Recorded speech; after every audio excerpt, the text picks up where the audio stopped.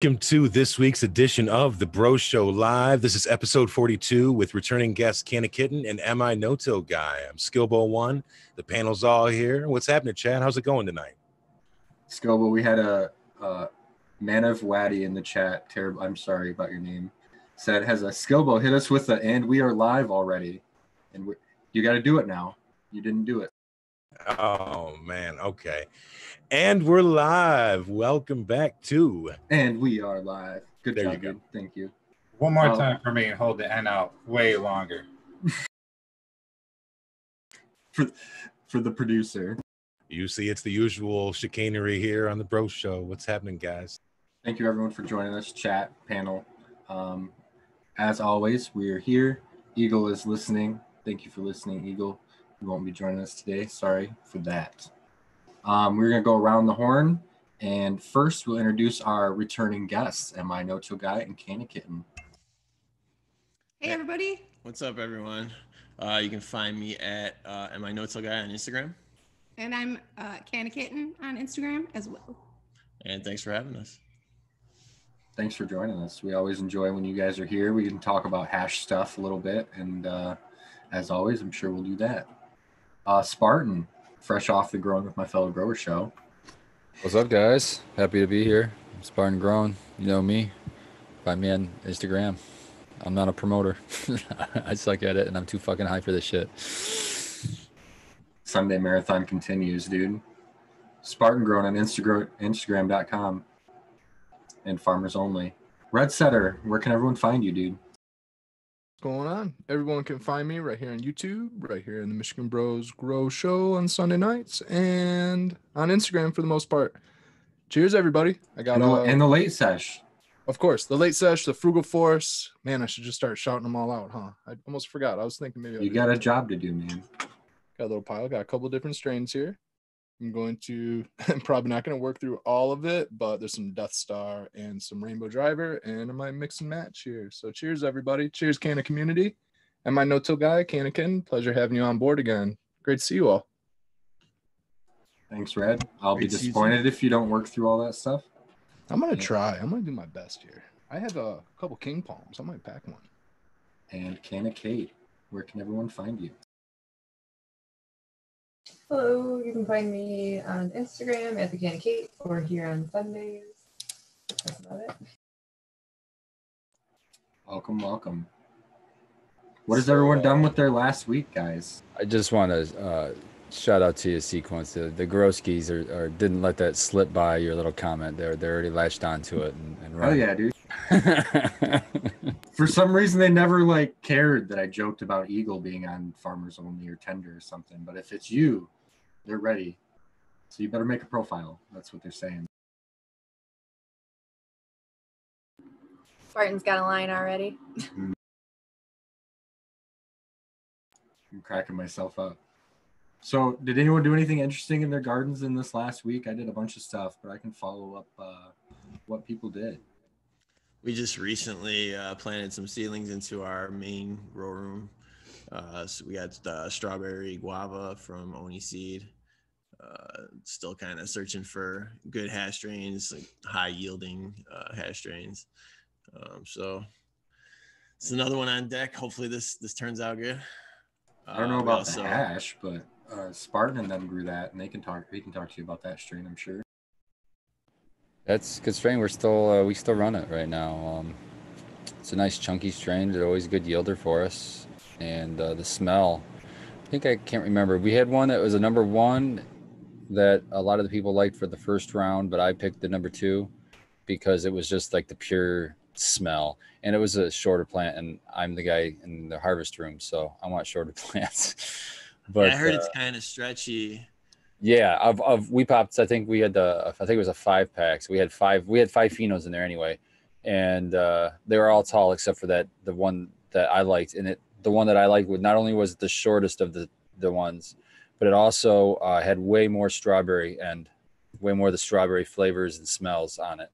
So um, I don't know if that's not the gonna- most photogenic either. I haven't found too many documented grows, but the pictures I've seen, it's not it's not like ooh wow, you know, when you see it. But supposedly it washes pretty well. I I don't I don't know if we've got any up there or not, but uh, if you Mid Mechanical, we might have a few pictures up of it. I'm not sure, but I I'll know we it. ran it once, and we're gonna we've got it, a mom, and we're gonna cut more cuts off of it. So I know we're gonna run it again.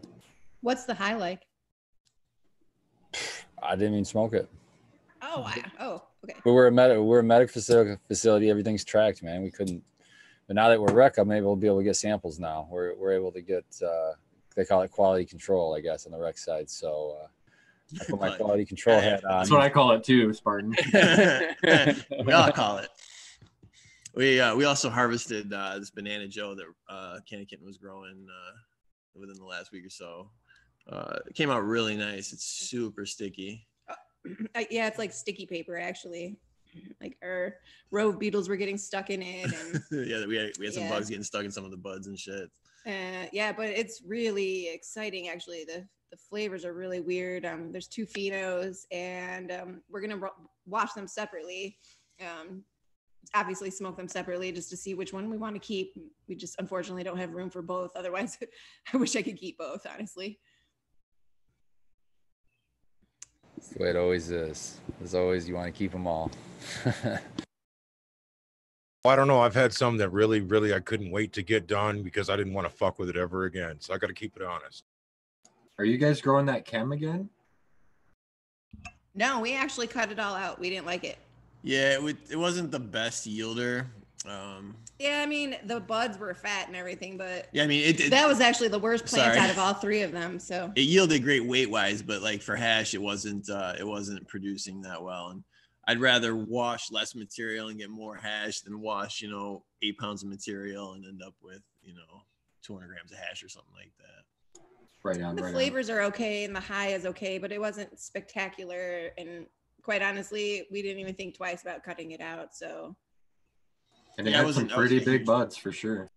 Yeah, there were some like arm sized buds. Uh, it did it did have some really really fat colas on it, but yeah, it just wasn't there for the hash, and that's really what we wanted it for. I've got the uh, sour garlic cookies by Bloom Seed Company. That's going to be our next attempt at a gassy strain. That is my favorite thing that they grow at Mitten Canico. Really, I actually just planted, uh, we just took clones of the GG4 from Spartan uh, Yeah. to plant in my big pot. So that's my next round is Spartan's GG4. Yeah, she's fucking. The Thing about her is, is that she likes to side branch. At least for me in my situation, side branch a fucking lot. So um, don't be afraid to trim some of those off, and it's just gonna help your buds up top if you do so. So I got to get uh, I, I got to make a trellis for her tent too. Uh, we've got all the stuff laying around. I just haven't got to it yet, so I got to do that this week. Get out there, measure it up, and uh, and build that up too. But the Because, GG4 uh, will give you some That's one of incentives. Strains that wants to fall over itself. Yeah, that, that last setup I had without the scrog, it would be a nightmare with GG4. so do it the right way. don't be afraid to give her some silica. That'll help. That'll help give her a little bit of, you know, a little bit to be able to hold it. But I always found it. No matter what I could do, I couldn't. The main branches all were fine, but it's just like all those little side branches were just weak as fuck. She had a uh, a clone of it that she had gotten from Clonify. That's based on we harvested it, and it was it seems to have been a legit clone. You know, it, it tastes like it and everything. But it was definitely it was very small. She grew it out from you know a really short clone, and uh, it ended up you know maybe a foot high or say 18 inches when she yielded it or whatever. But uh, it was falling all over the place. And I mean, for a plant that's only like 16, 18 inches high, I was like, fuck. I had I had four four yo-yos on. It was like this big. four yo-yos on this. It was. Yeah, I was like, I was like, this thing's gonna be a nightmare when it's like full size. Yeah, scrog's really the only way to deal with her to, to, to not be too much of a pain in the ass.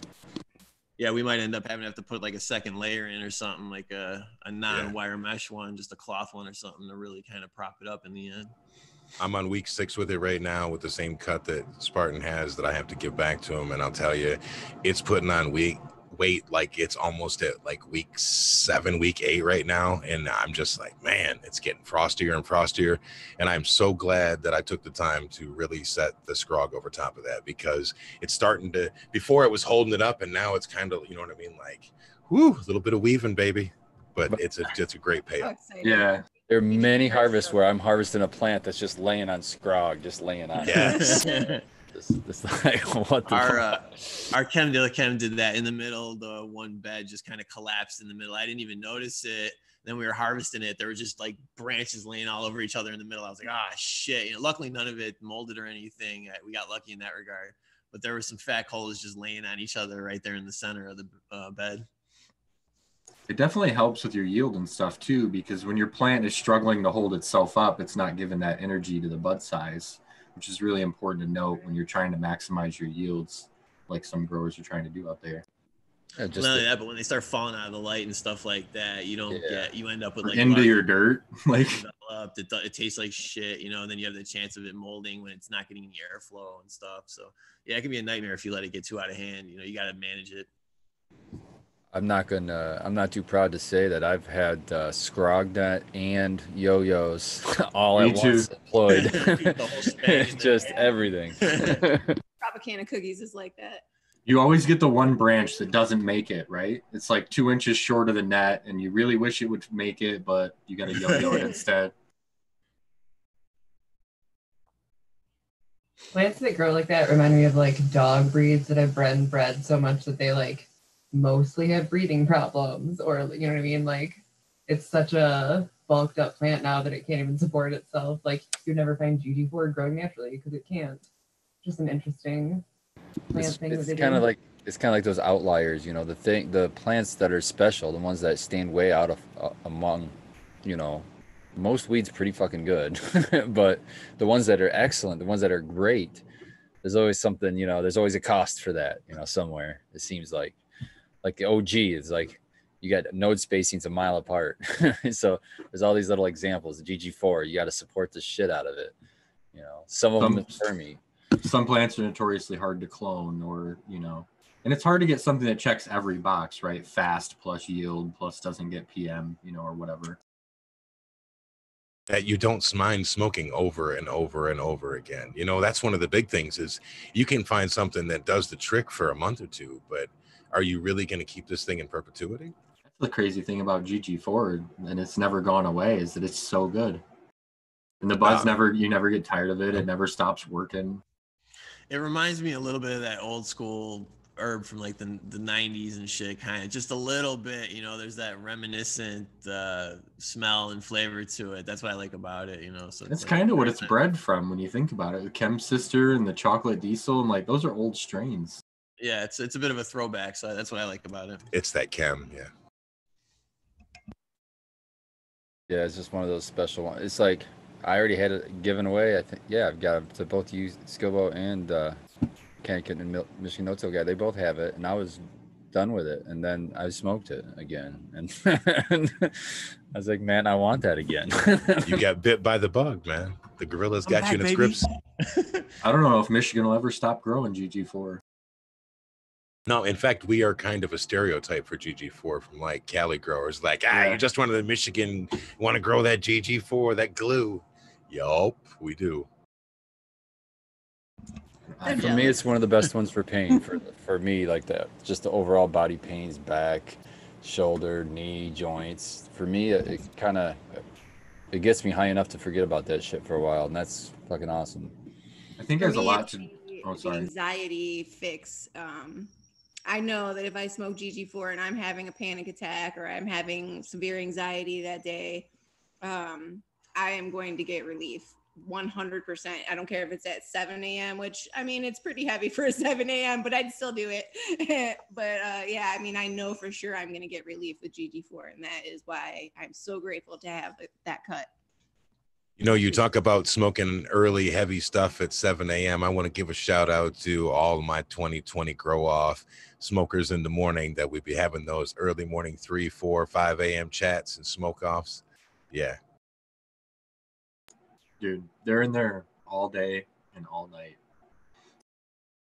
Speaking of chat, I wanted to give a shout out to everybody out there. They've been rolling. I haven't had a good chance to type because I've been rolling up this uh, Death Star fatty. My fingers are just really sticky, so I'm gonna try to get this off before I mess with my keyboard. But Big Jar grows in chat wanted to know uh, since I was trimming. I'm actually not trimming. I was just chopping up some weed for this doobie, but I am always trimming in my 24/7. Any tips on someone who uh, hasn't trimmed a bud before? I would say uh, I don't know if anybody else wants to touch on this, but the one tip that I would give would be to keep your scissors moving and to keep and to rotate your bud uh, amongst the scissors instead of chasing your scissors around the bud. Just keep the scissors going. I used to work in. I'm gonna trail off for a second, but I used to work in uh, like the the dish uh, department. I used to work back dish sinks, and the one tip that the uh, trainer always told me was to always hold on to that handle, and never let it go, and always keep it spraying, and you'll work through it a lot faster. And I kind of took that same approach to trimming. I just keep the scissors moving, and then I bring the bud to it. That's one kind of tip I would bring. And always I'm keep gonna your scissors clean too. I'm gonna follow it with this. Take your time. Just take your fan leaves off first. And if it depends on what kind of grower you are, if you're one of the ones that wants to trim up when it's wet, at that point you just want to get in nice and close. Take your time. This isn't a race. I know that it looks like you've got a whole bunch to get done, but we want you to learn how to do this the right way the first time and have really, really smooth smoke at the end. So that's my tip. I'm gonna pass it to the next uh, one. Remember that your goals vary a lot, Skilbo. Like you trim a lot different than I trim, right? Um, some like if your plant's super frosty, maybe you trim off less than you do if it's not as frosty. That's me and Red. Red and I are the we do Right. they call it that growers trim. Right. And then you definitely want to remember to trim off everything that's brown because it'll taste like shit once it's in your jar. So if you get burned leaves from your lights and stuff, trim that stuff off. I'm telling you that because I failed at this before. Um, you know, someone else can mention some things now, I'm sure, but um, it's important to remember that everyone trims different. You don't always got to try to make it so you're putting it on some Instagram picture or a, a dispensary product page or something. That's how I do it. But it, feels, it feels like common sense, but like uh, obviously you want to handle the bud as little as possible. I'm about to smoke this one, so I'm gonna handle the fuck out of it. But I don't give it. I can't get the. but this is the GG4. You see, I just took all the damn leaves off it, and all I got is bud. I don't know how else to explain it. Yep. Yeah, I love those I'll strange. say, videos. don't wet trim people. You, you can like hand trim them literally with no scissors. You just pull a couple leaves off, and it looks like perfectly trimmed. You're like, drop it in the jar. That's a lot of like this rainbow driver. Kind of kind of able to just kind of flick the a lot of this. This is untrimmed, so don't think that this is going to go straight in the bag like this. And typically, what I would do is I would knock off this bud. I would knock off this bud. I might knock off this bud depending on how long the stem is going to be, and then this top here would be its own. So you're going to get four little buds off of this. We'll call it a top uh, top cola, and I would just kind of slowly work my way up. Sometimes I'll shave. Sometimes I'll just intricately pluck and pluck a leaf. It all depends on the structure of the flower. I like the blade flick too. That's a good tip. And you're the artist on this also. So don't, you know, com- compare it to somebody else, but take your own approach. One thing that I some- had heard somebody. Oh, sorry. Go ahead. Well, I had some someone give me some weed that was very new at growing, and it was fantastic. Um, I, I it like he didn't even know it was good. That's it was amazing. It was frosty. It was uh, you know del- just delicious and a great high. And he was worried about how he trimmed it, and it was it was more like um, leafier than you'd think than you normally leave on, but all of it was covered in frost, and I wouldn't have ever taken any of that off. So um, it is a personal preference and will be based on like what you're growing and you know how it how it comes out in the end. Well, So- and also what you're going to do with it. So you you hash makers may want to take all those off and keep those off and do a separate run of just those. That's where I was gonna go with it. I was like, because I take I save all my trim and I'm I'm using it. I process. Actually, I probably eat more weed than I smoke. I don't know. It's pretty close, but uh, I love. You were eating a cookie when you came into the show. Yeah, I got one more for the towards the end of the show just to make sure I'm topped off for bedtime. But uh and then I like the FECO also. But you know, now I've lost my train of thought. Too many fucking too many side fucking meanderings. Well, I think you're just saying that you, you don't mind sugar leaf. trimming it because you use the sugar. Oh leaf. yeah, yeah, yeah. That's that just improves my trim in, in my eyes and makes my you know edible stronger for myself and things like that. So for me, it's like it's a benefit for me to take the extra time to to be meticulous. Whereas in a commercial setting where you're trimming fucking thirty pounds, you're not going to take the time to do that.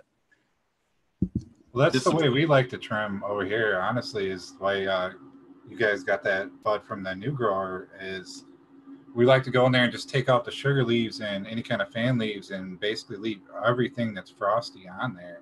because we don't really extract unless we're doing something on the side or whatever. But yeah, we like to leave every little bit on there that's frosty. I was gonna say I, I normally do all of our trimming and like the way that I like to do it is I like to like take it off the stick first and then I'll do the buds. And for me, like the best way is to just like kind of like Red said, like keep your scissors in one spot and then turn the bud. That's that's sort of yeah. I agree. The same. I do the exact same thing. Uh, the only thing I'll add that I haven't heard yet is a trim bin, because yeah, they're expensive, but they pay for themselves in hash. Even if you have to wait six, seven harvests, you know, however long you have to wait, you wait a year. It's a it'd be a nice Christmas treat to get all that dry sift at the at the end of the year. And hell, if you had a press, you could even squish it. But um, you're saving. You, otherwise, you're not really even saving that. I'm assuming dry trimming. I'm not even going to talk about wet trimming. But then, uh, also is like just like what Miss Cannalope was talking about was um, take them off the stems, and then uh, I hadn't heard anybody mention this either. But uh, the first thing I do is I'll pick it up and um, turn it upside down. So I'm looking at the bud from the bottom up. So so this is your bud. I'm looking at it from the bottom up like that because then you can follow the stems and pop out all those big leaves by just popping those stems off instead of even trimming every leaf. You just pop the one stem and you get, you know, all of the leaves attached to that stem. I like to kind of dissect it in there a little bit, and that's how it's. And usually you take you follow stems, you take two stems off, you're done. A lot of the times, um, depending uh, obviously on the strain. But I found that's really easy for me was just to follow the stem up. You can see the offshoot of the leaf, and you can just pop that off. Um, I see a lot of people they'll just take a bud from and just do an outside trim while you leave all those they, they're called the crow feet or whatever, where it's the little piece of the stem and then like it looks like this much of a leaf, and uh, th- those look terrible. You know, you have to go back through and pop them out. Just do that. Yeah, that's a good example right there. Yeah, I was gonna say Yeah, this right is my my single largest pet peeve in anything is leaving crow's feet on because they'll absolutely poke through like papers, blunt wraps, anything. They'll fucking stab you in the finger. You can see this is weed that I got from a delivery service, and this is how it was trimmed with this like big fucking gross. I'd be kind of pissy if I got See, that from a that almost looks trim. like that looks like this bottom bud down here that's fresh out of the bin, Isn't not even. Yeah, I It looks like say, that. I, I would question if that was even trimmed at all. Right, I'm so Trash, offended, right? Kate. I almost want you to tell us the name so none of us try them. went through one of those twisted. uh, I'm gonna call them about it tomorrow, and if they if they don't make it right, I will blast them. There it is. Uh, That's, It was that's not- incredibly cheap, so you get what you pay for. Um, that looks like it was just bucked right off the stick. Like they didn't do anything else. Yeah, that's what I was gonna think too. Was yeah, it just it right off much the stick? or I, I would say had to have been because there's no. I mean, there's sugar leaves on it, so They're You like, took we're, half gonna, of each of those fan leaves off. what's they're like, we're, we're gonna get a really good price on this by not paying trimmers. we're Like, just gotta gonna make buck weight. it. We gotta make weight, guys. Yeah, exactly. Wait, Then we gotta make of those things- weight. Yeah, weight was up, dude. I don't know. People always What shit did talk say, the trim bins. light? I really like the trim bins, like, or not the trim bins, the trim bags. You know, the shake ones. I don't think that that beats your weed up any more than like your heavy-handed dumb friend that doesn't do a great job. So you basically shake it around in that shit for a minute, and then um, pull it out and go through it by hand and do things like cut up rose feet and pick out a random brown leaf and whatever else. And Anybody use Yeah. that um that canna brush? I mean, basically, it's a basting brush. a brush. fucking pastry brush. Maybe Go to the the silicone store. pastry brush. yeah, the silicone baster bud brush. I have not used it. Yeah, it really doesn't look much different than a regular silicone basting brush. I imagine you could r- experiment with one. I don't. I think the only difference is it costs like twice as much. yeah. Yeah, that's what I, I did. just every time I've seen one of those getting used, I just imagine it like flinging shit everywhere. You mean like dusting trichomes into your That's face? That's what I told her the first time I see it. I'm like, why don't you just take a pair of gloves and just just rub your buds with them? I mean, fuck it. so the my first experience trimming i don't know if anyone else has ever had this experience the grower who wanted his stuff trimmed he was all organic and he didn't want scissors touching his weed so that meant hand trim only and we didn't it wasn't like boxes of gloves sitting around. So we sat there with bare hands and hand trimmed like plants. Where I don't know how many plants we sat there and did, but there was a good many many ounces that we went through. Dude, that's And some hand wicked trimmed, ass like- charas, man. Dude, I, that's what we ended up doing at the end. Yeah, we smoked a big glob of some charas at the end. It was all nasty skin hash. And Yeah, you know dude. what? It was uh, some good weed at the time. I actually have some a couple seeds out of that. I love my hash to be at least a 30 70 ratio of skin to hash. I will still No smoke. more, no Just less. saying, Red. You got Yeah, some. no more. Just like my cocoa, I like my hash. Spartan, what'd you say, man? I, I said I'd just say I would still smoke it to this day. I would still do.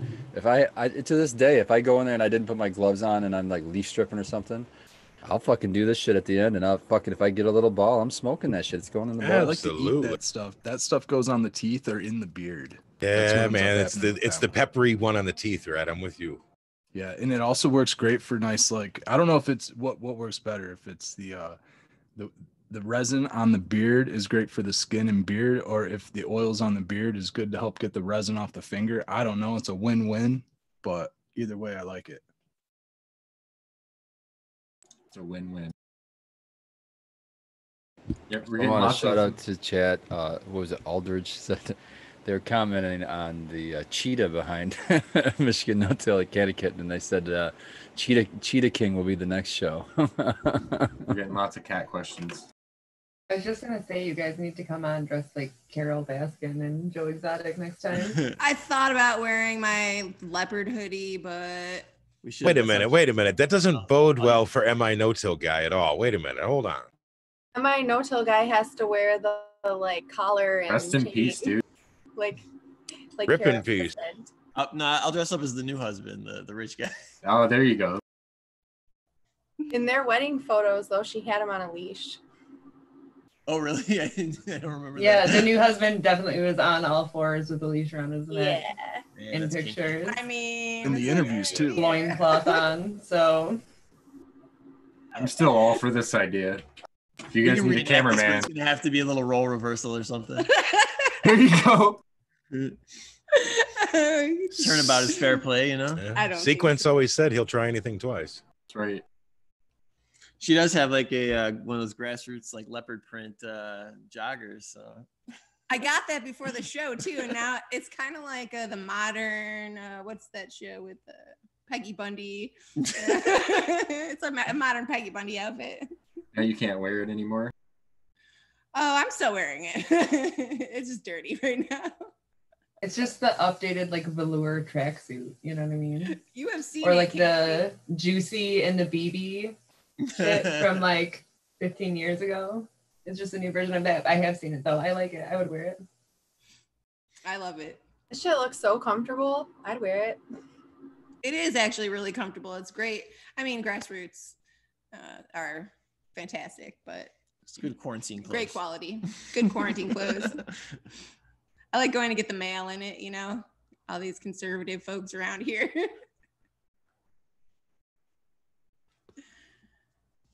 I did have one more thing to circle back um, before we jump too far off of the trimming thing uh, and went down another hole. Was circle back to what Skilbo was saying about taking your time.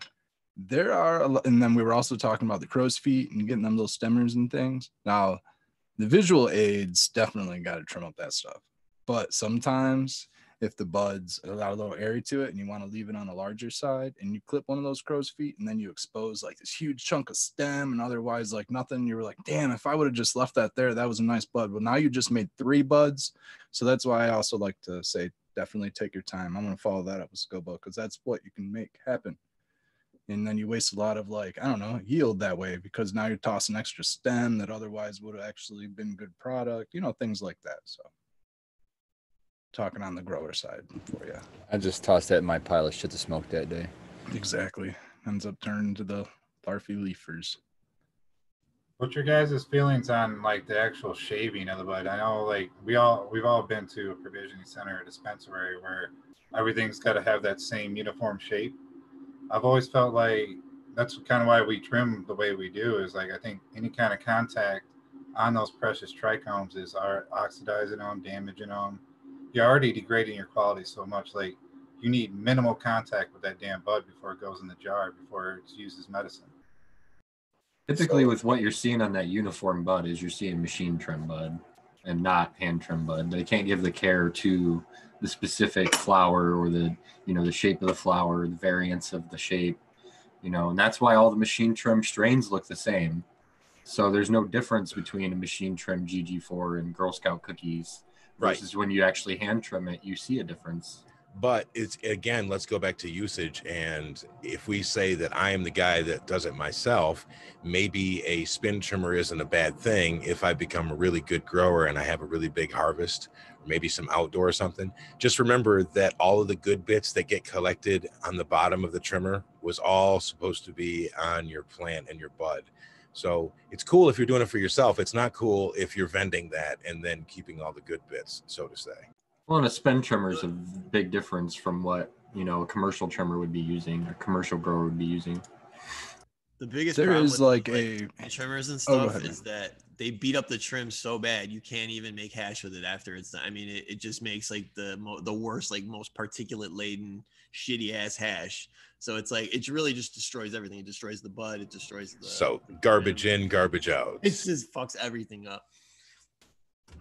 there is like many many i'm sure so many techniques i couldn't but there's like a technique to where you you're basically shaving the bud with the scissors. It's definitely possible on the hand trim side to to make it look like a marble or if you want to. But that's something that i guess depending on the size of the flower or how fast i'm i me personally am trying to run through and just try to get rid of like a lot of the bullshit bottom and stuff like that. I will find myself doing the uh, well, a, a clip, clip, snip, you know, uh, a crow's foot into, and then kind of right up. And I mean, if the foxtails are because of stress or something like that, I like to kind of get them off of there anyways, and maybe round out the flower. So I will find myself like shaving the. I don't want to call it shaving because I'm not shaving it. I'm giving it, but you know, my scissors are going really fast and they're not stopping like we were talking about earlier Sculpting. sculpting basically yeah but i'll take off some of those foxtails and what i find is in also kind of scraping the scissors i don't want to call it scraping either but it's more like sliding or you have that just slight slight um, surface area that's being touched a little bit of friction and you're like almost opening up the flavonoids and you're making it you're boosting the smell. That's another one of the reasons like i like to like trim as close to uh, uh, patient's orders as possible is to kind of keep it fresh and keep it the flavors opened up because right when you're trimming it you're opening everything up you know it's i don't know something just kind of popped into my head i guess C3000, best trimmer in the game. You know, one of the things that um, that I found when I was trimming was my hands hurt so bad after trimming with the spring loaded or the I don't I don't know if it's called spring loaded, but the spring the spring Typical um, trimmers, like your typical typical- Fiskars. yeah. And um, while I love the you know the Fisker blades and everything like that, you know, I asked you guys in chat that and you guys recommended a couple different brands. I ended up picking up one similar just because that's what they had at the store. Uh, I think their wow, Fiskars are just a different style. They're like the round uh, handle ones with no no spring in them. it, it has made i mean a significant difference like my hands don't feel like they're gonna fall off at the end of the you know couple plants and things like that so if anybody has like bad hands or you know joint pain i would definitely recommend using non-spring trimmers I think the brand that was uh, agreed upon before was Chikamasa. Was the one that you guys had talked about, right? Yes, Yeah, I gotta shout sequence out on that one because his advice and and I, I gotta say I can I can roll through the weight now and keep up without the carpal tunnel kicking in. It's not bad, man. Because I mean before I couldn't get through a few ounces without my hand cramp. I mean hand cramping up to the point where you don't want to you can't finish the job, you know? That's my I had the same issues. Not being able to trim or something. Yeah, I had the same issue, and that's how I came across the same scissors. Everyone was suggesting them, and I was like, okay, maybe that'll be a little bit better than fighting, the, you know, the spring all the time. I was skeptical because you know it seems like more work or whatever, but I use I have three pair now that I just switch every couple minutes while I'm trimming, and you know you never have to clean them or anything like that. So the only downside with the pair that I personally purchased was that the blade is not as long as like a pair of Fiskars. So like if you are the type of trimmer that uses the side of your blade, you don't get as much surface area. But I think they have a couple different excuse me, I think they have a couple different models without the spring. Chikamasa, that is. I had I find that same exact thing. In fact, I was kind of getting annoyed at him the other day, but I was like, my hand pain not being there is way, you know, way better. Um, but I I used to use these curved blade Fiskars, and I love the blade on those. Right here. Yeah, the curved ones. Yeah. Yep. Yep. Do you have them without the spring? You oh, I've get- got the spring ones. You can get Yeah. curved Chikamasas, but they're pretty That's what I expensive. have, and they're awesome. The curved Chikamasas are great. There's a So new great. there's a new company that I've seen on Instagram. I think it's called Diamond something. Has anybody seen those? It's uh, not I- brand- Diamond Cut. Diamond cut. They're a pretty old company, but uh, they're still badass. Eagle uses all uses them all the time, and they have all different types. But they do have. yeah, there was like four or or five without different spring. styles. Yep. They're not that much more expensive either. I've been um, eyeballing a pair of the uh, kind of fancier silver ones, you know, just to treat myself. But That's the one I was looking at too. I, I want Okay. that same one. They're a Right. little. My worry is that they might be a little heavier than than I would like. Um, you know, just the fatigue of my hand. But uh, I mean, I could just switch back to the other scissors then, I guess. But I think of it like this as a cook, a professional cook. I'm all about my blade. I keep it sharp. I, you know what I mean? So it pays for me to buy a good chef's blade because I use it all day long. Amen. And hopefully you will get to the point as a grower where you will say, you know what, it's $65 for these versus $38, but these blades are going to last me for years. I'm not going to have to fuck around sharpening them. They're going to really, really benefit me in the long run. We're talking about pennies, man. Just treat yourself and buy the good ones right out of the gates. Don't keep buying the $14 ones. I know it's tempting. Just stop it.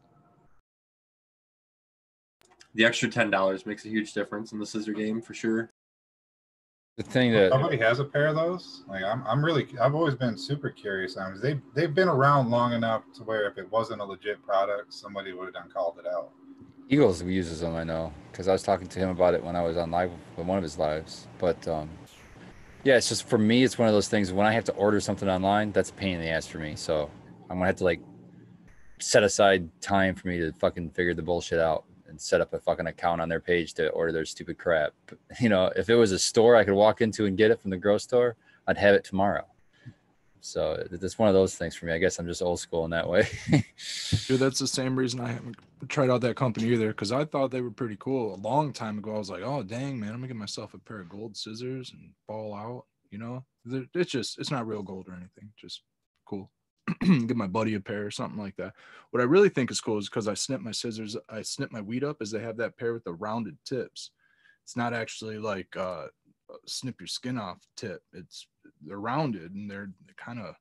I'm not really sure what they're used for. like children's safety scissors, Red. yeah, they're like maybe for working around stem on the inner plant. I don't know, but yeah, they almost have like a like a guard on the tip of it, and it's.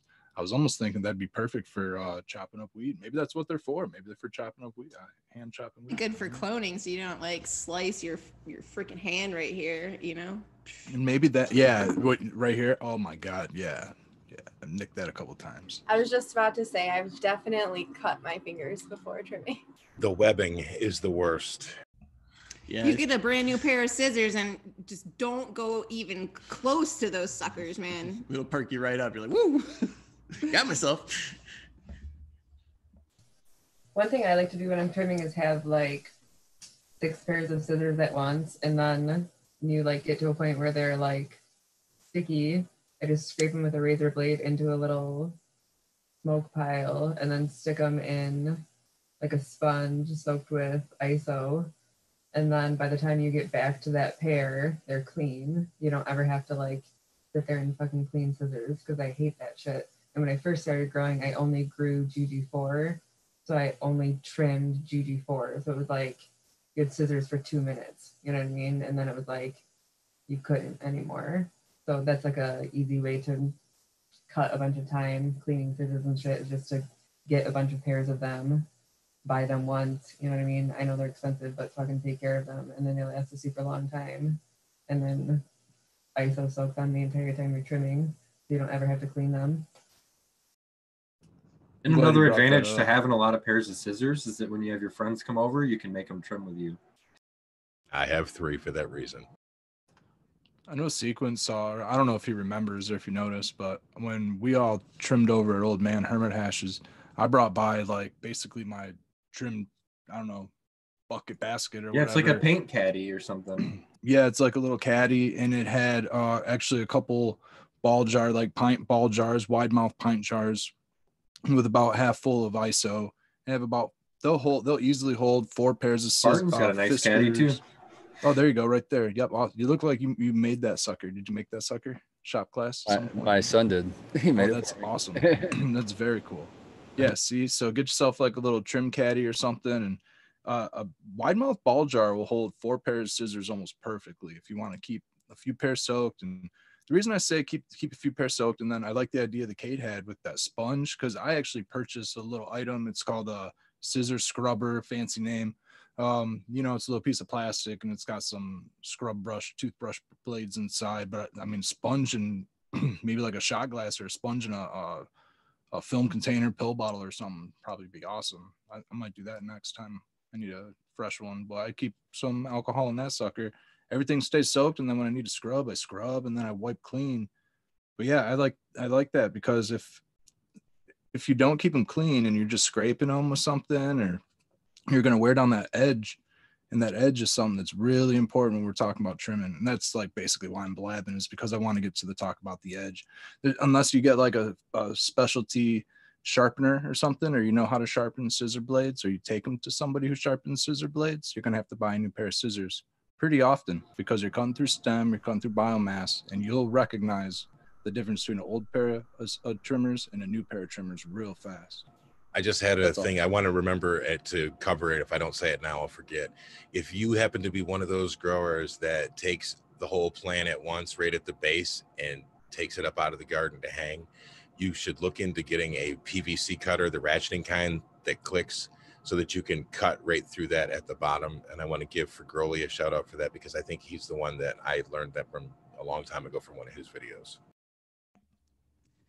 I always take my old trimmers. Um, I use them in the garden outside, or you know, I have I have pretty much like a pair of scissors or trimmers somewhere in, in the house. And like if you go upstairs, there's trimmers. If you go down in the garage, there's trimmers. You know, if you go in the kitchen, there's probably trimmers.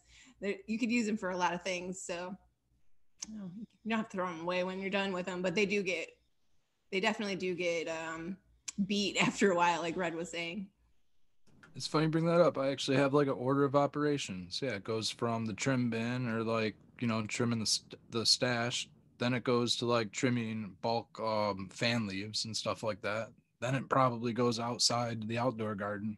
Yep, there's like a total order of operations. I like that. Recycle. Oh, I like that order of operations. I'm gonna have to remember that. Like I, I was just willy nilly, like here, just throw That's some called scissors in, but the- that's- It's it's a- very it's a- professional. Uh, that's that's the algebraic approach to trimming. So we had a we had a question about a smell-proof like lockbox, and uh, we got go ahead, tell them about it. See, Uh, I would say I don't know if it's gonna like show it with our background, but I have a skunk bag, is what I use for, um, like my on the go kind of stuff. So it's smell proof and it has a lock. You can hold a fair amount. And skunk bag makes like a bunch of different sizes of bags and like backpacks and, um, I believe most of them have locks on them. Does anybody else use like a smell proof bag? Sometimes like, when I'm oh go ahead.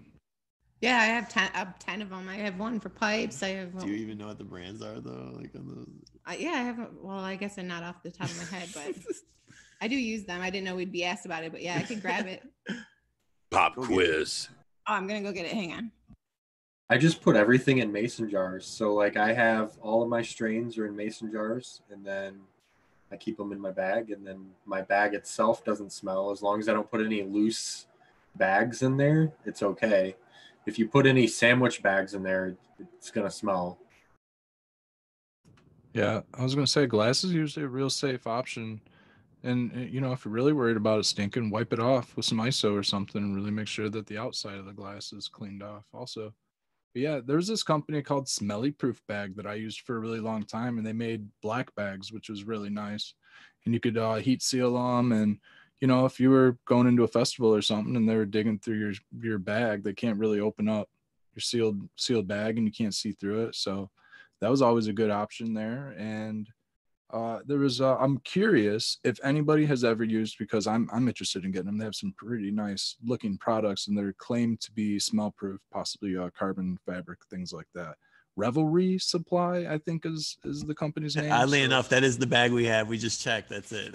Oh, okay. So thing how is- okay. how's the quality and how is the uh how's it work? It's a- it- Super nice. as far as like the quality of the like build of it, it is it's a really like thick material. It's really uh uh stiff, uh very so solid probably is a carbon. They they claim to like have it be stitched with like carbon or something. So. I think the word would be rugged. fabric is really nice Rugged. inside. Um, I wasn't kidding when I said I have a lot of cases.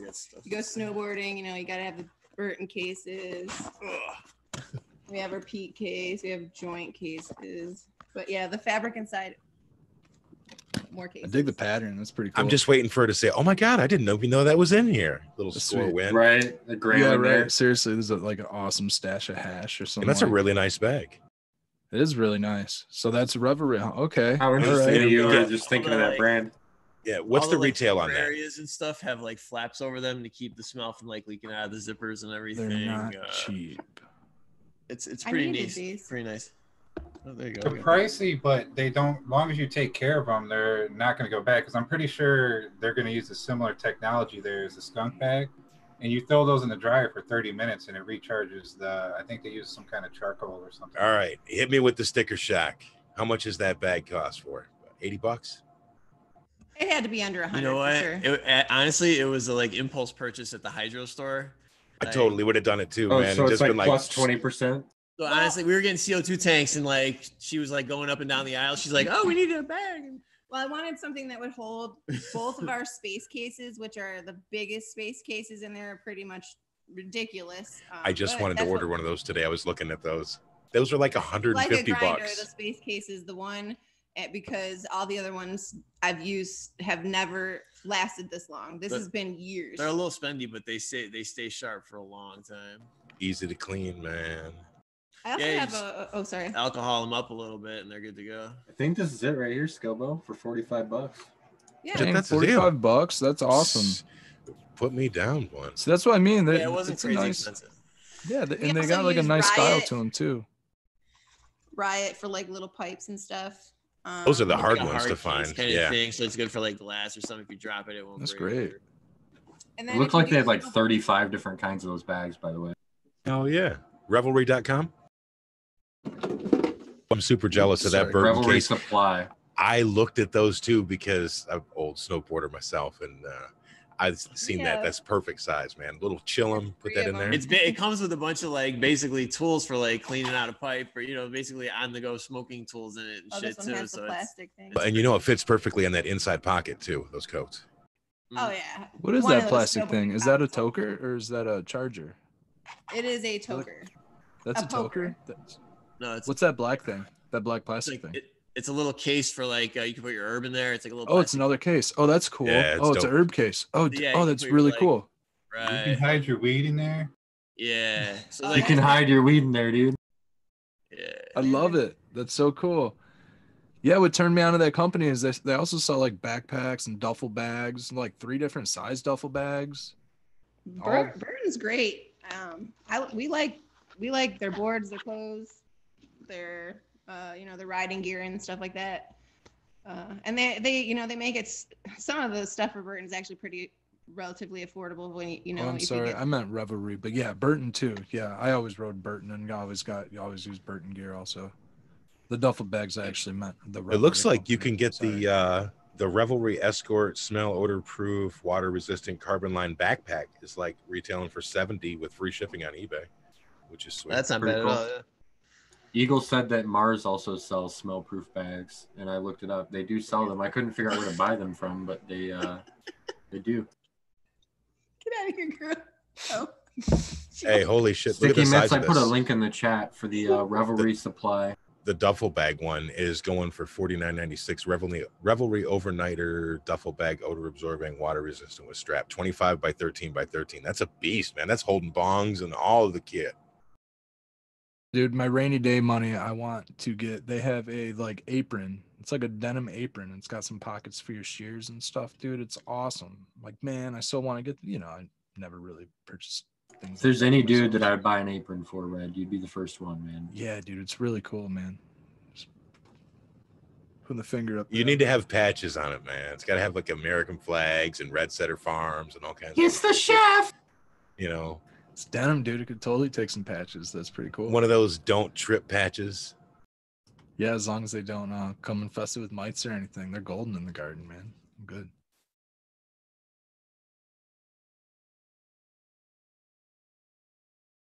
All right, let's look at the grow off plants. Good time for that. Here's Forest Bros. I've been enjoying this segment of the show lately. The grow off plants are getting so lush and I love this starting part to too. get some vigor to them. We should continue this after the grow off and just have a, a hashtag like Michigan Bros Grow Show or something because I, Oh, I yeah. could sit here and do this all day. Well, we're working on a website, so hopefully we can do this every week with um, submitting pictures in there too and stuff like that. Here's Narwhal's plants. His plants had some bad fortune, but they're still trucking along. Is that like the beginning of a cover crop I was seeing in the top and the bottom of those pots? I thought I saw something. Yeah, he's got clover in there. It looks like. Oh yeah, that's like white clover. Yep, cool. Nitrogen fixers. Here's High and Tight. High and Tight won the Discord giveaway, Discord seed giveaway, and was also in the grow off. Here's Abolished Plants. Is that in a four x four right there that we're looking at? It's Five a by five. five by five. Oh, That's, that's I actually huge. just crawled in there today and tried to defoliate some more. I literally like crawled down on the hydrogen. Oh man. Brutal. There's so many leaves in there right now. There's a lot of leaves in there. It's definitely strong indica for sure. That look at that bush. Nice wide leaves. Getting completely dwarfed, or my one LG in the front right just getting completely dwarfed by uh 2020's damn monster genetics. Those things are always so vigorous in my garden. Yeah, snow It's that seed vigor, man. It's hard to match. Six Here's Smiley. Two earth boxes and two homemade earth boxes. It looks like. Smiley's got some clones. See that tray? That I like that tray right there. Uh, This here.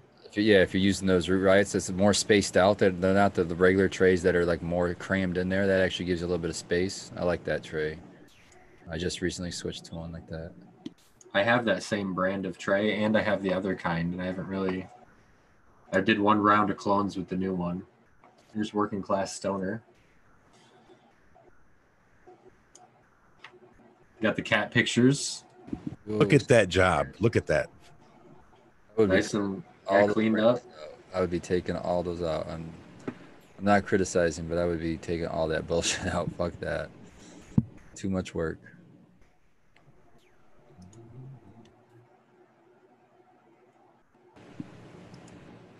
Oops. Skip right over. See where that see where that uh uh what do you call it? What's the yellow thing called? The yellow card, uh sticky trap. That's like the perfect place to hang right there. A lot of people will hang it up really high or you want it just like that, right above the soil level. That's where you're gonna catch those catch those bugs.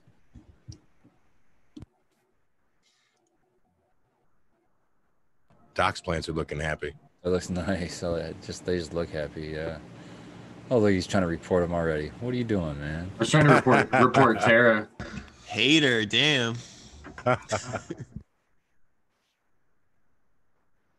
Mm-hmm.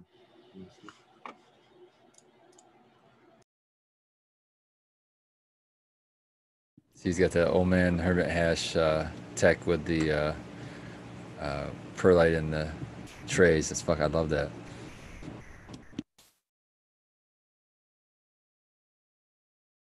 Look at how nice and evenly that's all filled, man.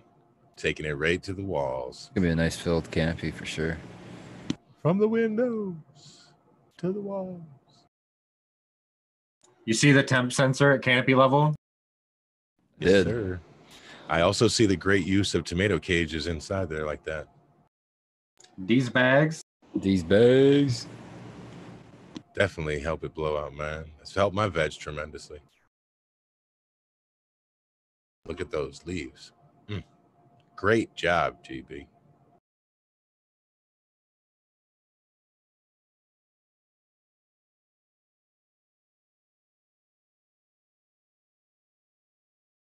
GB's got clones as well.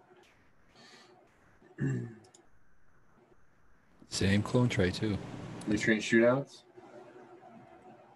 Bushy, all natural. Yeah, look at that untopped. Reaching for the lights. like that. Westwood Micro.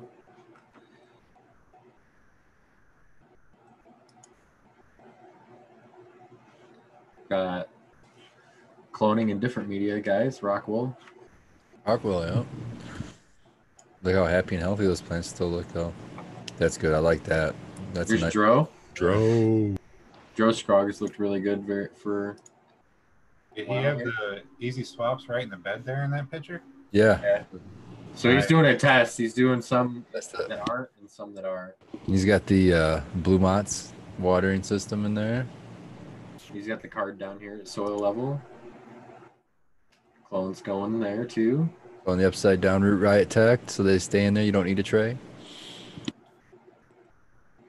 Genius. You know, maybe if anybody from the grow off is in chat, what are some of the features that you notice about the plant? Maybe like rate of growth, like thickness of stalk, like vigor, anything like that. Maybe we'll shout you out. See these great tops right here? Yeah. Oh. Very clean. We got a TikTok video. Tara.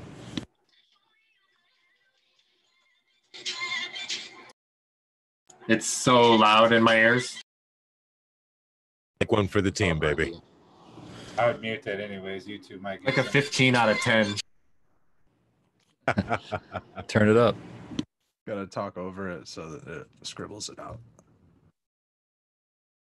Looking good, Tara. I like those plant risers. Those are nice. We use those at work too. Ooh, look at that leaf. Man, that's so that was so loud, guys. There's nutrients plants from a few days ago. Using I'm those seeing slow, slow to veg by AirPods? Dankman Dan.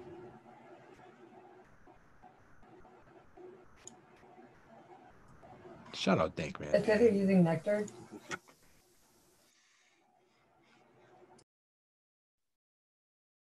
Everyone's plants are looking really good. Good job, guys.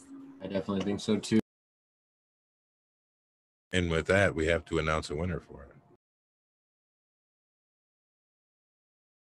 Yeah, the competition this week was to make the judges laugh. Well, the bi-weekly, I should say, not just week. And can we uh can we share the post, the winning post, real quick? Yeah, I'm looking for it now. Oh, you caught him. You caught him sleeping over there. No, we looked at it already. Oh, it'll be totally worth it. We're gonna get some uh some movie some movie voice from Skilbo here in a minute. Yeah, I gotta find it real quick. I'm scanning. Technical difficulties.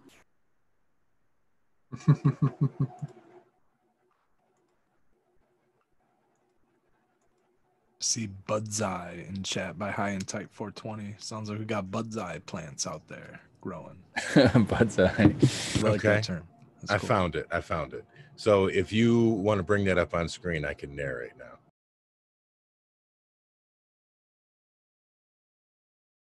So this was the caption that had us laughing here. Day 67. Get your hair did. Some things we are not good at. Never enough, never enough, never enough. So Boomer tapped into the at Michigan Bros Grow Show and 2020 Great Lakes Grow Off knowledge grab, and Boomer will roughly quote a few. At Dankman Dan, cut off anything bigger than two inches. At Sequence, you can go real hard. At Tara Wilson, see, I just cut it all off and my plants look fantastic. Skilbo, you can never go hard enough. Exhales is third of five wake and bake joints spitting knowledge. at Abolished Farms, at Smiley's Garden, at Spartan Grown. Chime in. Just take off all of the fan leaves and let the beneficial ninja toads help the lateral branching. Red Setter Farm, it will be all right. Just do what you feel is right. Now let's roll a joint. Boomer knows there are more, so a big thanks. Let's see how they look in a week. After this week, they were rode pretty hard. Cheers, GB. So good. That was great. Oh my god. I love the Ninja Toads, man. Fucking love the Ninja Toads. Ninja Toads had me laughing when I initially read it too. That needs to be a shirt ASAP. I need to graphic. 2020 Ninja Toads. So congrats to GB Farms. Uh, thank you for writing that out and giving us all a laugh and uh, giving us the ability to share it here on the show. Yeah, and I just spilled my joint three different times trying to load it up because I'm sitting here laughing so hard. So thank you for that. I don't know how far back everybody's video game history plays have been, but uh, that instantly reminds me of Battletoads, the video game, the Ninja Toads. That's the first thing that popped in my head when he said that, and I just started laughing. I died, dude. I, That's what I want right there. A, a battle toad with an MBGS uh, pad on. And uh, GB, just hit me up with your address. I know you've won before, but I don't save anybody's information like that. So just hit up my DM and I'll get that right out to you. How responsible of you, Abolish. Quite. I put up I put everyone's address as post-it notes all over my house.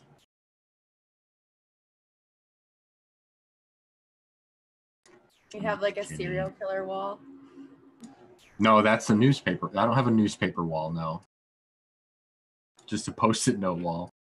Well, I'm okay with that because I know post-it notes suck and they don't fucking stick for too long. So Yeah, they're, they, I got two two weeks worth of addresses. That's Uh, it. you got to have a thumbtack to go with it. And I just want to take a moment to shout out the 144 people that are hanging out, spending their Sunday night with this. I hope y'all are smoking one right along with us. Cheers. Well, so and MI No-Till Guy and Canna Kitten um, filled in what they did last week a little bit. Did anyone else do anything cool? Any garden stuff? I got a new tent and a light from Mars Hydro, so I set that up. And I have a video coming out at some point this week. So thank you to Abolish for putting that together. Um, so that's pretty cool because I've never grown in like a real tent before.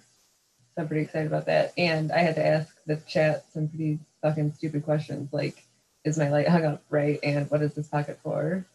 And shit. So it was kind of, it was fun to put it, put it together.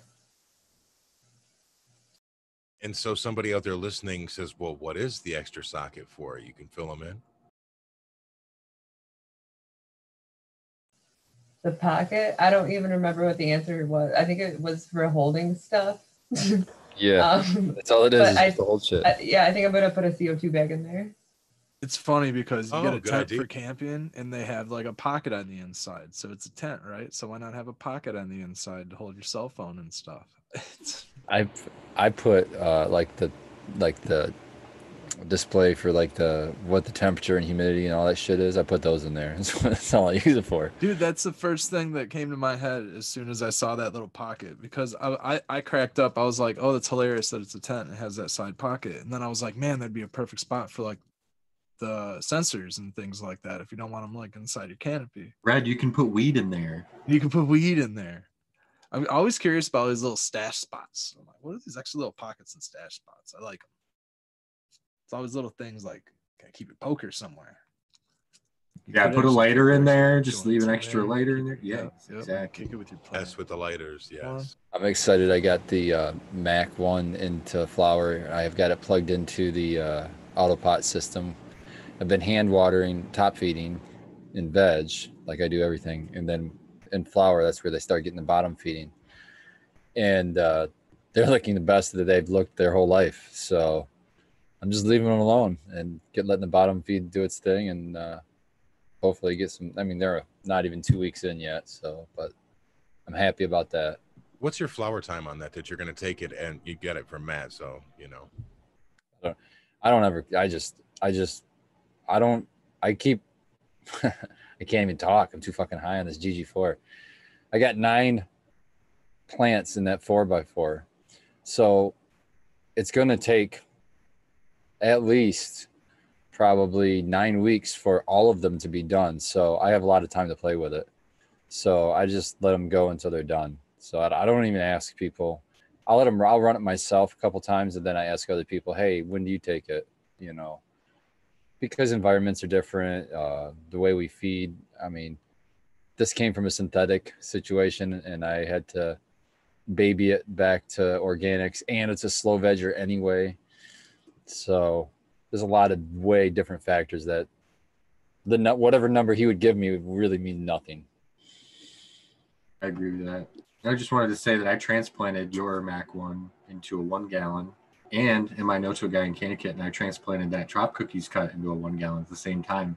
Both plants are the same height, so they're in a race in veg to see who gets there first. I'm going to vote on the Tropicana. I'm going to get there first. We just uh, made some Tropicana hash or Tropicana cookies hash, which is oh, That that Tropicana cookie is not, so not a fast though. vegger either, though. To be honest, there. It doesn't seem like I got them both the same day. They were roughly the same size, and they're still roughly the same size. Yeah, it wasn't. It wasn't very fast. Uh, even with the CO two cranked up and stuff, I was like, "Wow, this thing's taking a while." I think I even commented when I posted about it when, I, when we were growing it. They're still roughly the same size. What about uh, They are, flour? see? What's the? Does it not stretch much either in flour, or is it? Was it a stretcher? Um, the cut that I kept, the clone doesn't stretch as much. The, like when it was from seed, it, it had a little more, like obviously a little more stretch to it. But the second time I ran it, it wasn't too bad actually. I think uh, um, maybe two, a little more than two times stretch. You know, it got about twice as big, but maybe maybe slightly larger, but not like a, you know, like a three times or anything like that. I like that. So, what do you guys think of that mycelial web that I shared today in uh, chat connecting the two pots? Wasn't that wild? Looked like the damn spider queen's nest or something. Yeah, it was fucking crazy. It almost looked like fake skin. You know what I mean? Like when you're pulling skin. You know. seen That roots do it before, but I've never seen something like that. I saw it at first and I was like, "Oh, is this is this good or is this bad white stuff?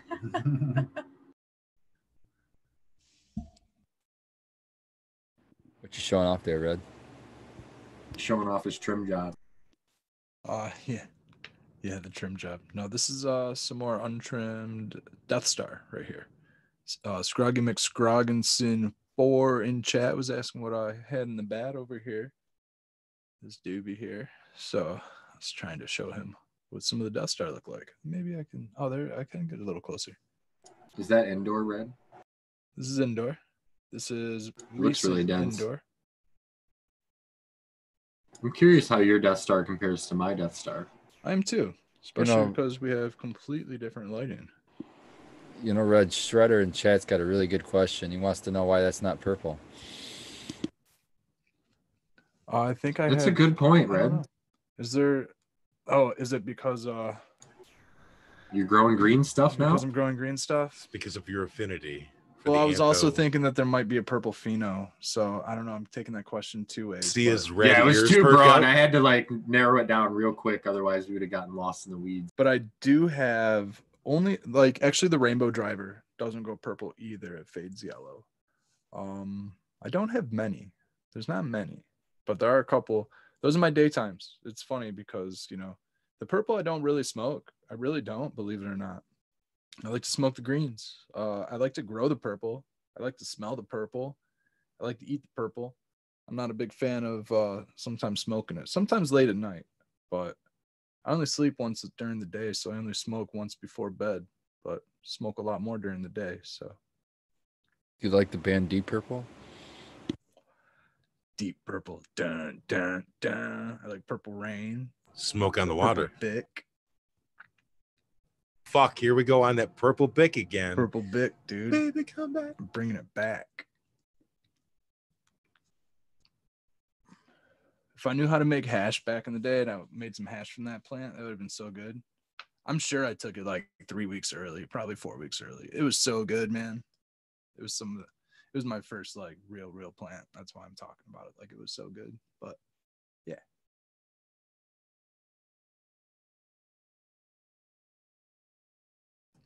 You all loved your first early premature plant. I know you all did. It was better than anything that I was able to get my hands on without it. Damn straight. Like my first grow, I want to say, or my second grow, the premature bud was definitely better than the finished bud because by the time it had finished, the spider mites had taken over. But the premature hmm. bud was still pretty decent. Spider mite turps, baby. I just wanted to quickly show this is uh, the greenhouse that I put up last week because I wanted to talk about the veg tent that I put up to house the plants to go in the greenhouse. So this greenhouse is 30 by 40 by 16 feet, and these are all two inch galvanized steel poles. So we're doing the other stuff like um, putting in all of the uh, straight bracing and then framing in the sidewalls and stuff next week.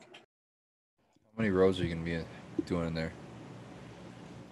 I mean, what do you mean? I, I'm assuming you're just gonna have straight rows of beds for it to grow in, or no? We're looking at 65 gallon pots. Oh, you're doing pots for every every plant. Yeah. Because I look, I was comparing beds. So like a four by eight bed holds 350 gallons of soil, and then pots are 60 gallons roughly, I figured. depending on how many you get. But I figured you just do a custom pot that just goes the full length. You know what I mean? well, you would, yeah. But I was just comparing like the volume per area of where you would have plants. So Oh, if you're see. making like a row, of soil is what you're talking yeah, about. yeah, Oh, I see. Sorry. yeah. So I was comparing basically the soil costs and uh, decided to go with pots at that point. But I definitely heavily considered the the beds. And That what's your what- medium going to be? And you're still going to use like uh, Coco Pro Mix, or are you going to go build your own Soil. organic soil? No, it's Well- going to be uh, commercially available soil, I think. Yeah, Because was mixing thinking, that much soil, you're going to need to rent a cement mixer or something like that. always check Craigslist. Sometimes you can find somebody that's getting a divorce, his wife that's really, really pissed off, and she might let it go for 50, 75 bucks. I guess I gotta ask: Is the plan to turn and burn the soil, or are you going to plan Hoping to reuse it. Reuse it. Yeah. Cool. Yeah, yeah. No reason not to. You- Once you put all that money into it, just keep running that bitch and make Well, I know all adjustments you after you smart guys it. that can ask questions and be like, "Hey, what should I pour on this? Like, You what kind of cow mag do I put on here to make this one better, boys?" First thing you do is you get that test that Spartan Grown has always told us about for that soil. Yeah, you're entering that different realm. Yeah, you get your soil. To, it, it all depends on how you're gonna ultimately feed your plants. If you, if it's all gonna be a pure organic, then soil tests don't tell us a lot.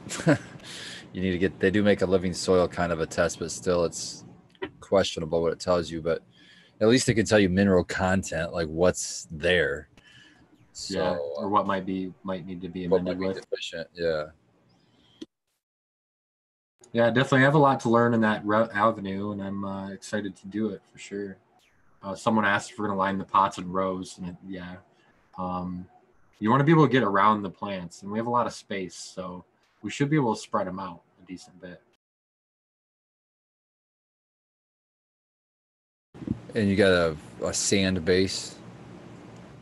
Oh yeah, there's a sand that was laser laser leveled. We had to rent a bobcat and do all that stuff, and then um, we're putting down landscaping fabric, and then maybe landscaping tile. But um, that should be a pretty good foundation for for what we're doing this year.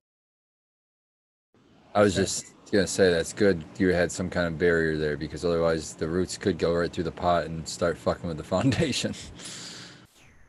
you know, it just blast right through. Yeah, the sand is three inches thick.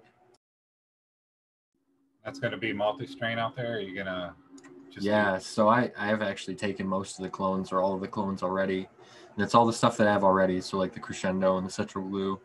Um, I might run some sour melon and some Death Star and stuff like that out there. I can't imagine trimming even bigger plants of sour melon though. Are you going to be able to throw any more OKC out there? Uh, yeah, I do have OKC clones, and I've been really, really impressed with that. Like I showed the plant, the grow off uh, chat gets kind of their own pictures a lot of times, and they got their own pictures of the OKC today, and it's really frosty and it's stacking like really good colas. So I'm excited to see what it does, especially in the greenhouse.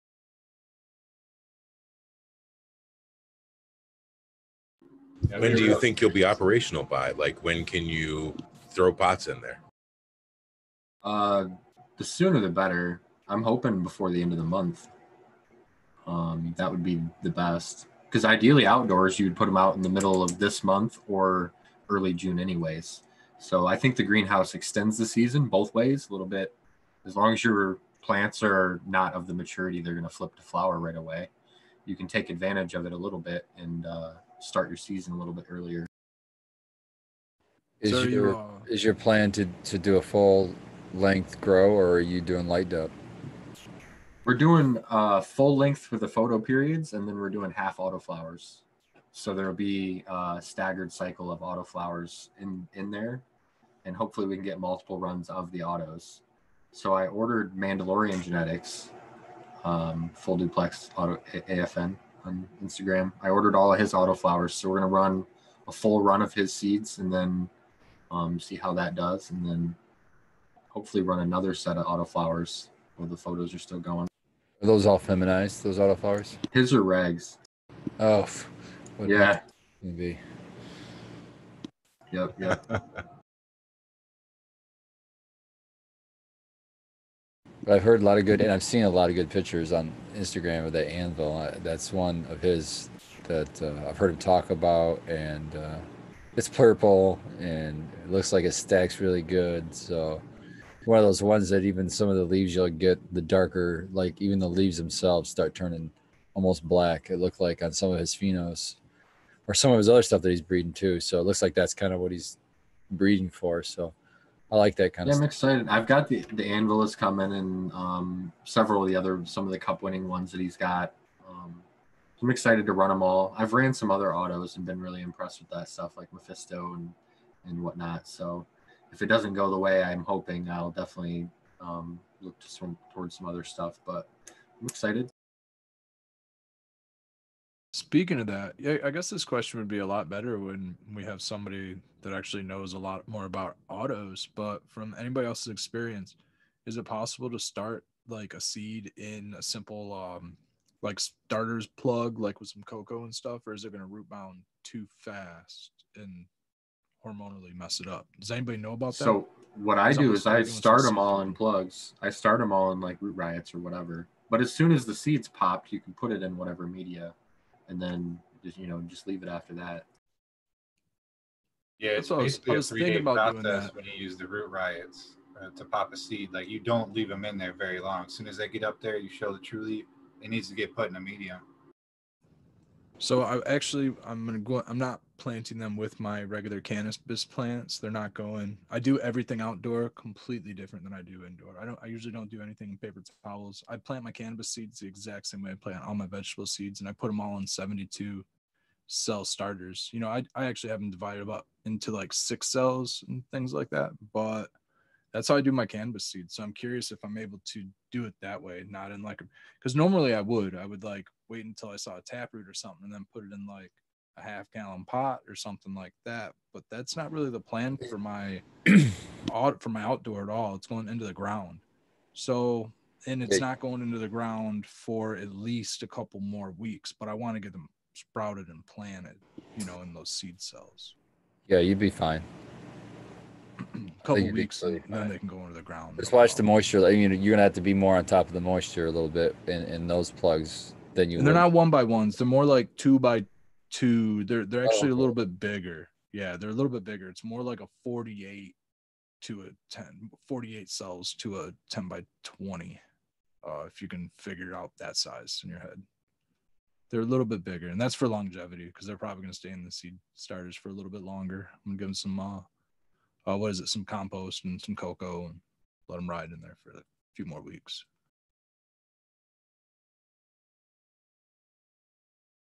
But yeah, that's my outdoor approach. Is I just do everything at once, just like my vegetables. That kind of keeps the time management and ease of everything a little manageable.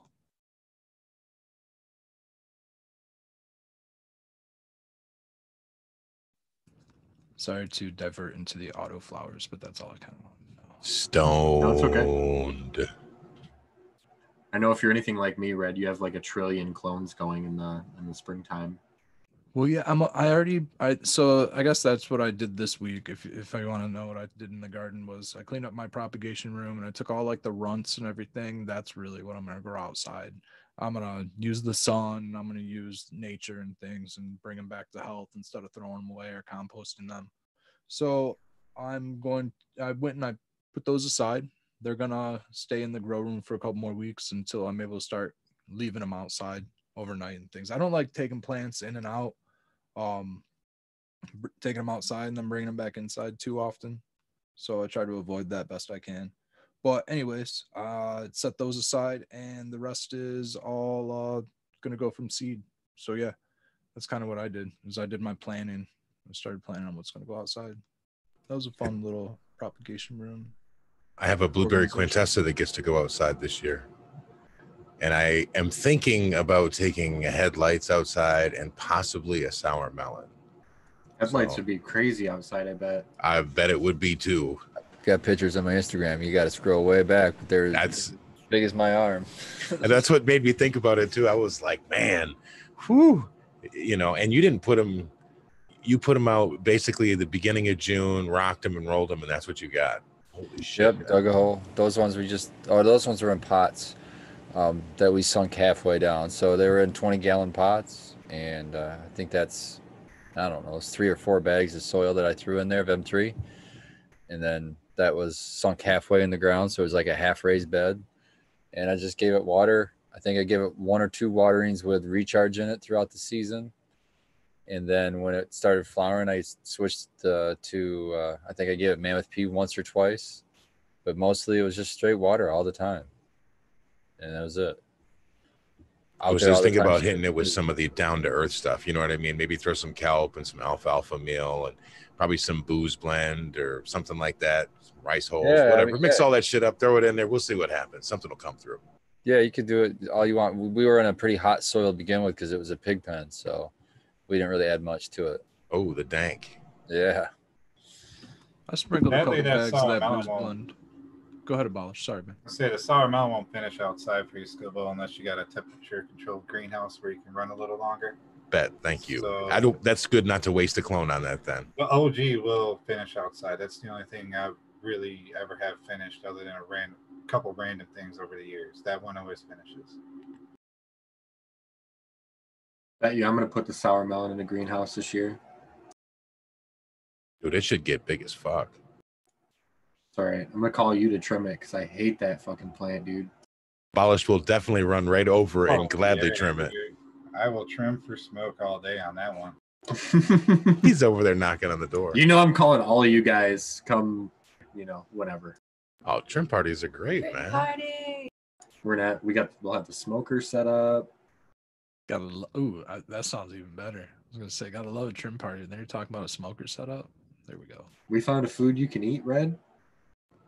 Put some ribs Oh, on yeah. for him. Smoked food. Oh yeah. Oh yeah, I'm down. I'll eat meat. All right. All right.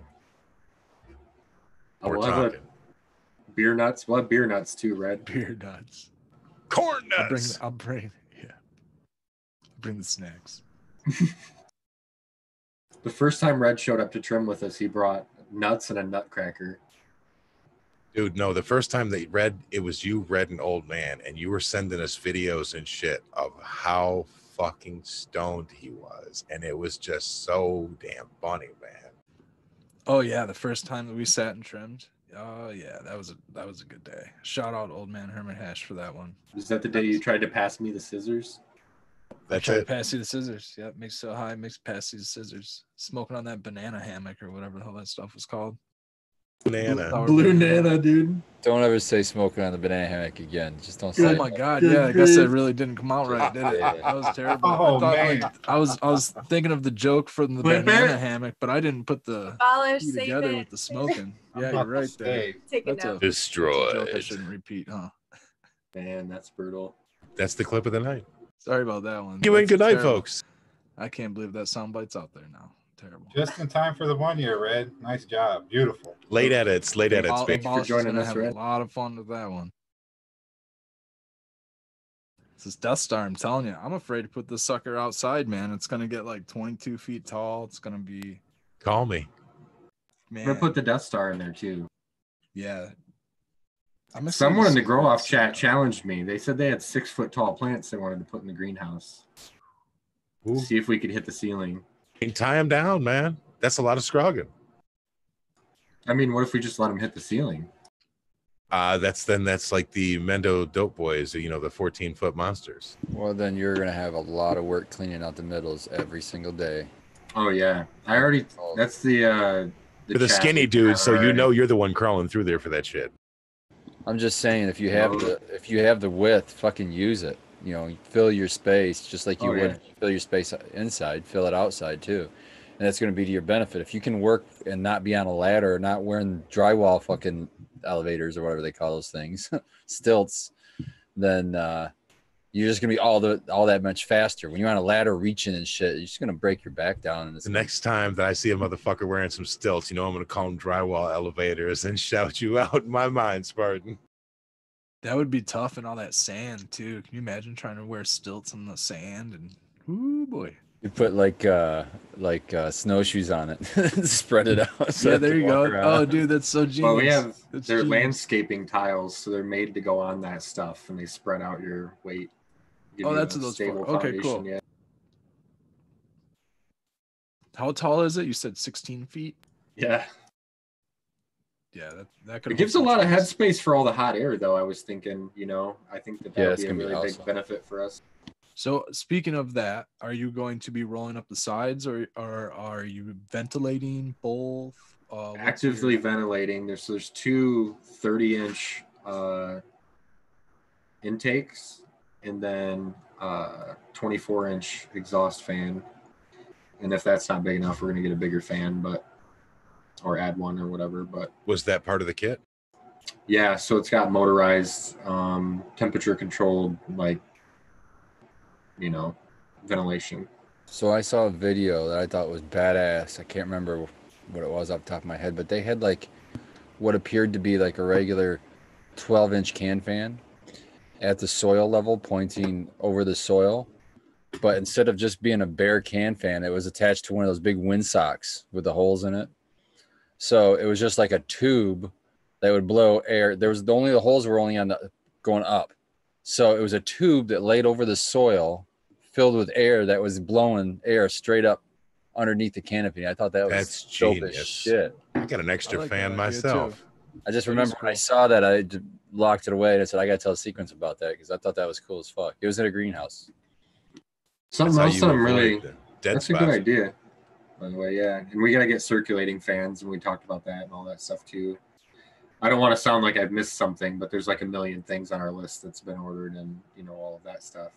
But something that's cool to bring up is the, um, I bought the explosive ember peppers to house uh, banker to be banker plants for guy mites. So I'm really really excited. And then actually, uh, Matthew Gates, Zenthal Sync Angel, I can't remember which account is his Instagram name. I think it's Sync Angel. He just shared stuff uh, about banker plants and swirskii mites. So it was pretty cool that I bought the stuff just a few days before that. And uh, now on his YouTube page, he's showing that that's the best plant.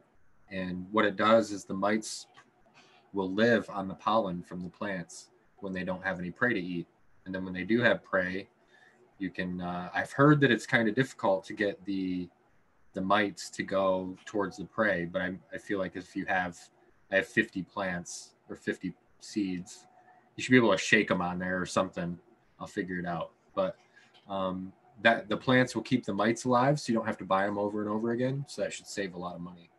Well, and couldn't you do some kind of companion planting where you spaced them out along the way so that you could basically you do, have a little nest? But the peppers are going to be like three feet tall or something. They're going to be pretty small and they got to be very, very close. So I feel like they'll probably get, you know, shaded out. Um, one interesting thing about that pepper plant specifically is is that the it's such a good food source that they'll actually start breeding, which is what is really nice. So not only are you keeping them alive, but you're actively breeding a population after that. So like you said, saving you money, but of course you're gonna have to get that initial application, you know, to get Right. on the plants. I would apply at least one sachet or whatever to your peppers too.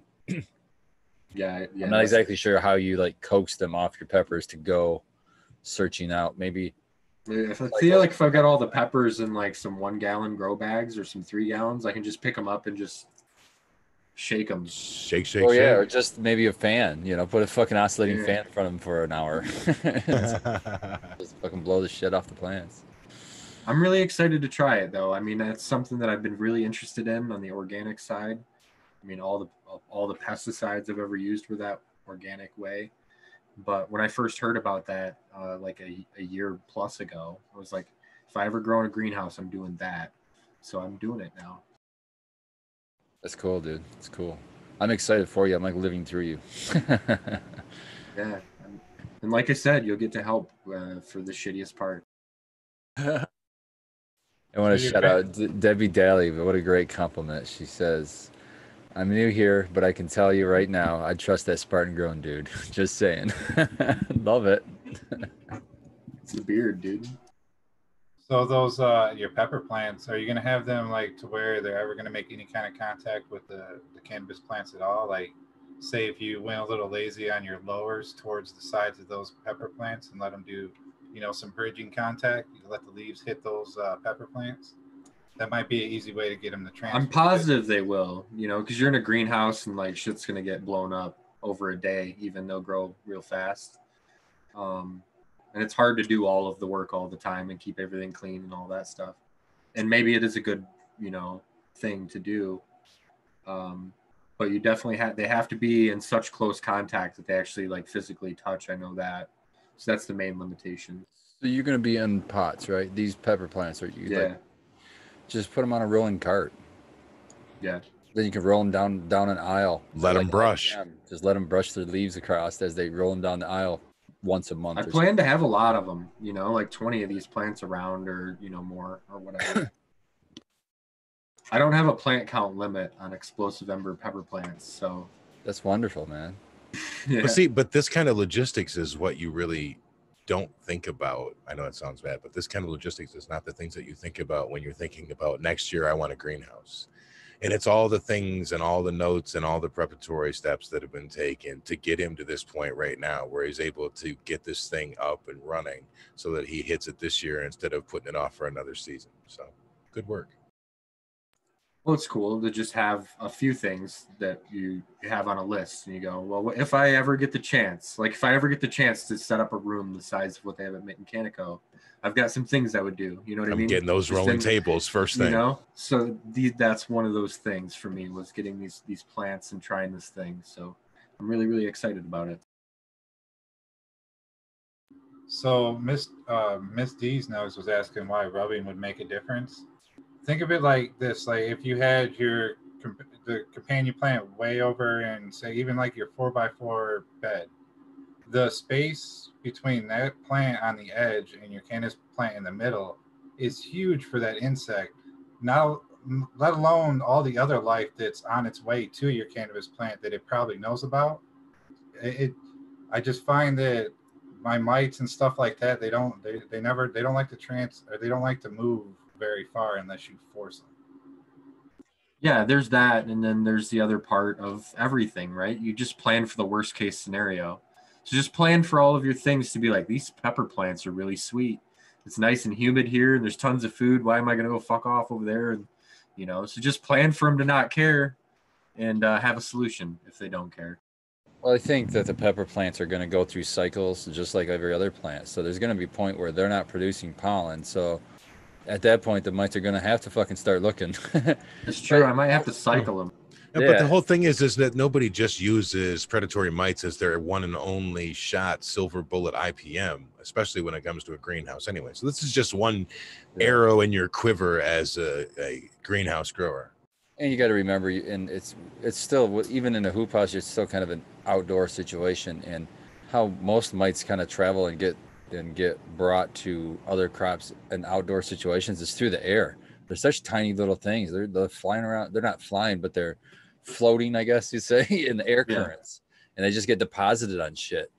And so, uh, you know, the same thing's going to happen off of these pepper plants. You know, just to, I'm sure he's going to have some kind of air currents going through there. I would hope, and it's it's going to carry some of them off and get them dispersed through the crop. I mean, that's going to be the only other like giant monocrop in there. It's going to land on something green, probably, hopefully.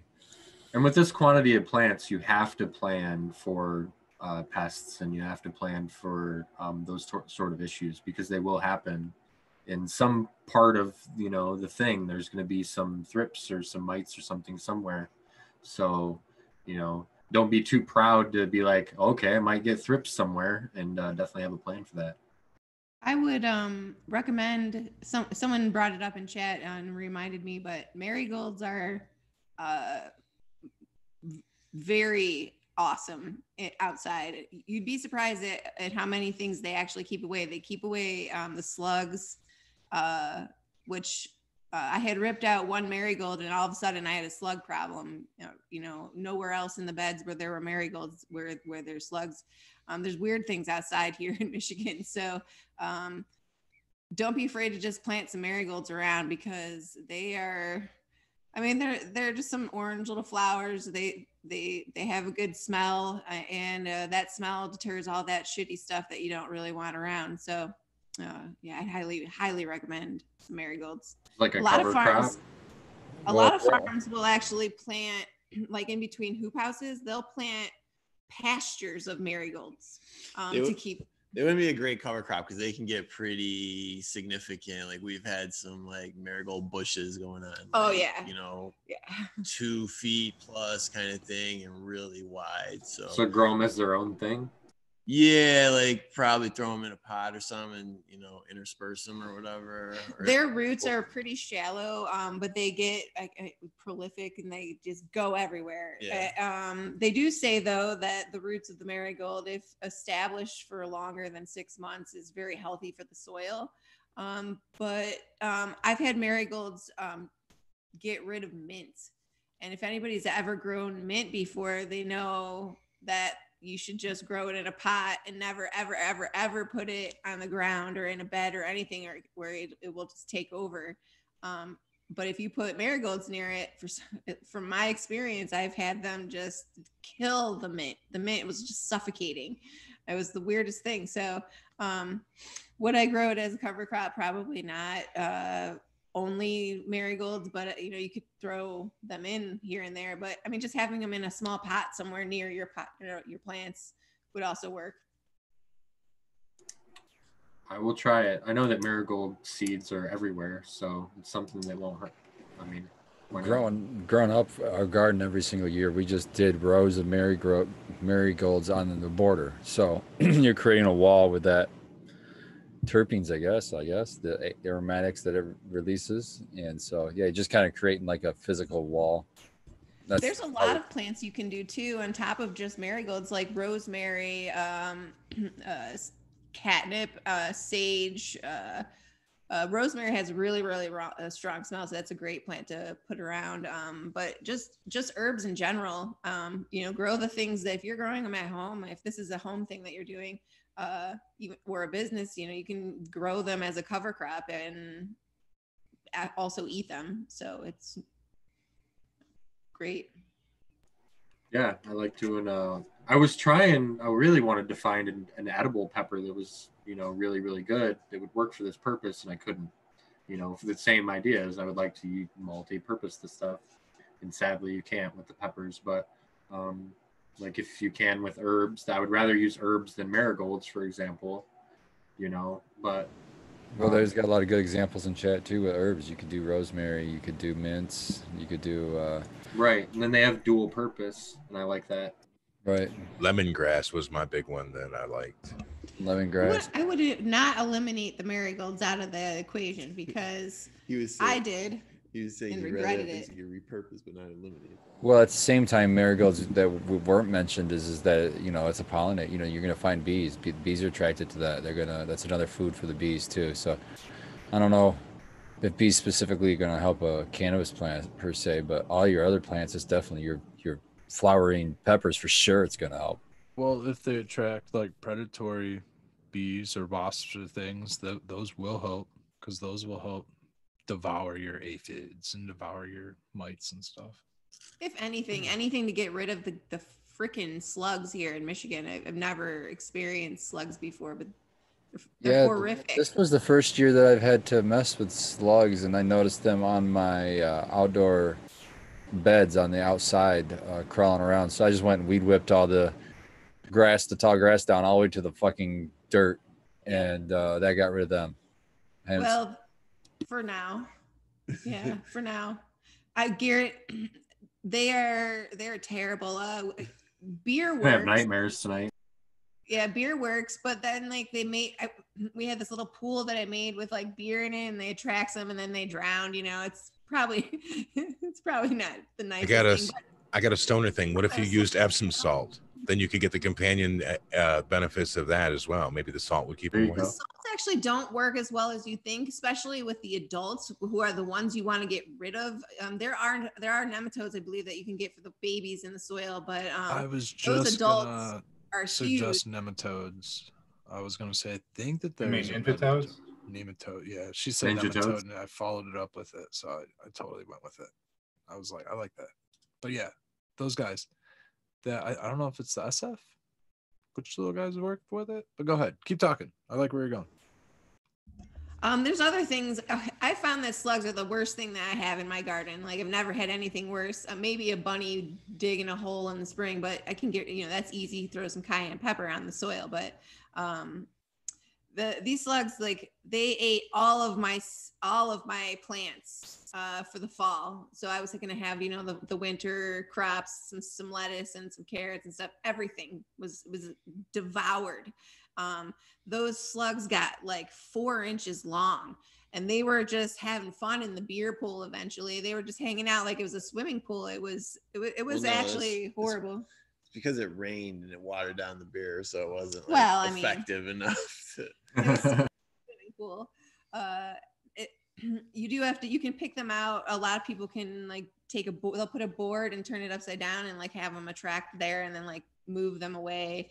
Um beer works but the epsom salts don't work very very well. And um i I can't say this word diet diet Diatomaceous earth. diatomaceous diatomaceous earth um, just washes in after you put it down. So it, it might work. Um, they do have copper fences that like actually you can have like little battery operated copper electric Zappers. peppers um, and i've heard bricks. So we'll see this year what works um, i'm not going to get the copper because like well we're in lockdown and i don't really feel Seems like weird. spending the extra money on that kind of right now so um some some maybe some stones or something like that but yeah fuck the slugs But It this was is a beer cool. grotto this year. This Yeah. is cool you guys brought up the slugs because I was actually just talking with this about this with my mom, and it's it's always an ongoing battle every year for her. Every year, the the war of the slugs, and I was just sitting there thinking. Uh, I, I, I told her I was like, "Why don't you try my rice hull cover crops that I use for my cannabis plants?" Because there's no way that could be friendly for them to crawl around on. It would end up stabbing them and getting caught in their slime. And that stuff is so cheap, and you can lay it on thick. you could you could probably Yeah. use that the And it's Mary- dry too. That's that's what you want. You just want to get something that's going to dry out, and that's that'll do it. I think. The problem they have, um, tend to has- like beds with a lot of mulch and like uh, compost in them because it stays moist. So the more shit you end up mulching over the top, the more moisture you hold in, and the more slugs you'll end up having. I really do recommend that those marigolds. Though I've not found anything else to date that has done kept them at bay more than a giant marigold bush in my bed. Uh, there's just nothing. Uh, you could possibly use eggshells actually. Um, if you, you know, just crunch them up. I've heard salt too, but I mean, I've never had real problems. I've never had to get. This was the first year I've seen them even. I have videos on my other account, my my Snow Kitten account, that um they're they're just hanging out, having sex, you know, having babies all over the place. There's there's like 20 of them, and when I went to go get get rid of them, they they move quicker than you think. I mean, It's a slug fest, is what you're saying. it was. They They're were, they're having a pool party in the trap with the beer and hanging It's out. funny you bring it up today because I actually saw a video that this guy was he was actually it, it had nothing to do with slugs. It was actually a video on eggshells and uh, myths on using eggshells as compost and things like that. And one of the myths was using uh, uh, bu- that he talked about slugs briefly, and he was talking about how slugs can crawl over like ra- it, he didn't say razor blades, but I recalled like another documentary or video that I had seen where slugs were like crawling over razor blades. It was like a study basically. That slime that they produce, it like creates like this. I don't know if it's like a Teflon or a silicone effect underneath them that allows them to basically glide over anything sharp. So, like you guys were talking about, you basically have to dry them out. Basically, he was arguing the video that I saw was he was arguing that uh, the eggshells won't cut up the uh won't deter slugs because it won't cut them up. There's they'll crawl over them and crawl back over them there's evidence or whatever of them doing that. Um but what i remember from that video was yeah that they will crawl over stuff that's sharp. And what he was also suggesting was for slugs drying them out. Diatomaceous earth and i guess if you can use salt or something like that. Try it but he was like Rice drying hulls sound like they might work then. yeah i'm thinking about drying them out for rice hulls yeah. Or Maybe not for um, poking them but yeah as I mean, as eventually, right? Because they're gonna dry them out and then stab them too. As far as oh. a, a, a biological control, I've got my little cheat sheet from the Regen conference from Suzanne Wainwright Evans. She didn't have slugs on there specifically, but the closest thing is a caterpillar, which I assume is pretty damn close. And it's recommended Bacil- Bacillus thuringiensis K. So not the stuff we're using, which is the I Israeli, which is what we use for like fungus gnats or something. Find something with a K. And it's going to be something, you know, for caterpillar control is probably going to be how it's advertised. But I would try that. BTK. Would- Yeah, Chris in the chat said to try that for slugs as well. I'm still on board with the nematodes. and that's the Nin- only thing toads. on there. It doesn't have The the- ninja toads. It says uh, the other thing is is a tri trigramma SP. I don't, I don't even know what that is. Some kind of a fungus or something. There's also you could actually put a bat house. I would love to do this because we do have bats around here, but um, you could put a bat house nearby, and they will eat the slugs apparently. And also, if you do attract certain birds, um, we have birds everywhere, so they, they're not doing anything. Um, is it, they're either just not they're not catching it or Lazy them. bums They're eating just- up all my food except the stuff I want you to get. Jesus. Well, But bats are like uh, nocturnal, and that is also when the slugs are out. So I would think that they would make a better pair, uh, predator prey. That's why I love theory crafting on these panels because we have a lot of bats where she has the slug problem. So that would be awesome to set up that. Why I Do bats eat ground insects? I love the idea of co-planting and having bird houses and bat houses, bee houses, and all that stuff because that's all beneficial. I, mean, I don't want no fucking bats flying around my place. Fuck that. You don't I'm just like, mosquitoes yeah, down. they're already already flying. fun. I just wanna You ever bat. woken up to a bat in your house? No, but but I I, don't want a I bat in my house. I've I seen- don't want a bat. in my Get the house. I've pillowcase. done it, dude. I've done it, dude. attic, dude, I've my- laughed into my my sides belfry. hurt watching it on movies. Don't I don't want that to be. belfry. It's exactly like the movies, dude. Fucking bats flying around. You're like, you know, screaming and being a pussy. Go and grab the fish. Don't net. get in my hair. I don't have Exactly don't like have that, a dude. Nah, man, I, I I'm an organic guy, but fuck bats flying around, man. I don't want that. Sh- I see the bats flying around. I'm going in the fucking house, man. I'm Gives me the heat. I don't want to touch it because then I know I got to get a bunch of needles poked. Yeah, then you got all this. One, one little shot. bat. Ah, Yeah. ah, ah. Nah, the flying Two, flying two mice. little I'm done, man. I'm done. I'll let them have the air, man. Because Which not, John Candy movie was it? The Great Outdoors where they had? to yeah, great with that? outdoors. That's exactly the movie I was thinking of when I was saying that. So great, dude. Fucking awesome. So great. We've been That's cracking got a up bad rap today. right now. And with that, we have about 10 minutes left. We've cruised through another one, guys. Does anyone want to talk about anything else before we do our sign offs and stuff? I'm gonna pack another bowl while we figure this out. I have a super quick question. So I just got done building two huge garden beds in my backyard, and um, I just used a bunch of old lumber that I got for free. But when I was like adjusting one of the boards, I noticed that there was like a lot of ants that had already made their way in between them, or were like checking that out. Are ants like problematic in outdoor gardening? And if so, what are ways I can get rid of them? So the only thing I would worry about with ants is um, if they're the ones that start farming those fucking aphids. So what I mean by that is, is if you get aphids, they actually take care of aphids. They'll defend them. They farm them because they shit out honeydew, and the ants like to eat it. So So yeah, so ants are problematic in that way, but otherwise they're you know causing some aeration and the soil, and they're you know helping decompose shit as they go around. So I generally don't think it's a huge issue unless I see them completely swarming close to my you know vegetables or something. I don't really like them around my food crops. Yeah, I was just gonna say, I'm like, uh, most of my beds are outside are all food. Um, I, I tried to get ri- rid of them, and and to do so, you just attr- attract them with something they like, like sugar. So put a pile of sugar on something and let them come to it, and then get rid of them. Yeah. They don't- don't Pretty like dumb, cinnamon. but smart at the same time. So I think it's cinnamon that they don't like. And I, I think again, there's a couple of other. too. Yeah, there's a couple other like co- co co plants you can put. Cayenne cayenne pepper plants is one of them. I think you can put out there. no, you can uh, literally just take some cayenne pepper in your kitchen and just sprinkle a tiny bit, um, and that'll actually detract bunnies too, and some other things that take your stuff. I've Have tried ever- cinnamon too on the ants and it fucks them up. I've done it right up, right in the cracks in my garage floor, and the ants were coming up, and I just dumped cinnamon, and yeah, they did not like that shit. Yeah, they don't You like catch a quick glimpse of any of my tents in the video on the very outside on the bottom. You'll notice all of them are stained red. That's because I coat the bottom of my tents with uh, cinnamon regularly to make sure I don't get ants in there. You don't want ants in the grow room because they will bring the bugs. They transport the bugs in for you.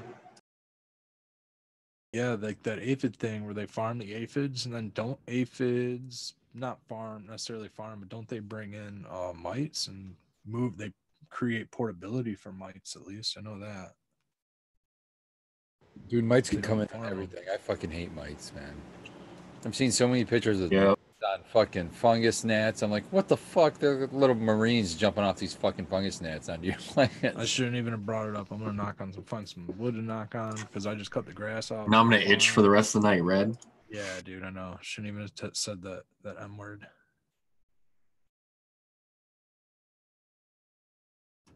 Ants protect aphids. Yeah, dude. You got half the chat itching right now too. I know, man. Well, dude, answer something that I deal with all the time. I think I brought that up a many, many weeks ago. I plug holes in my floors like all the time. Uh, there's a couple cracks, you know.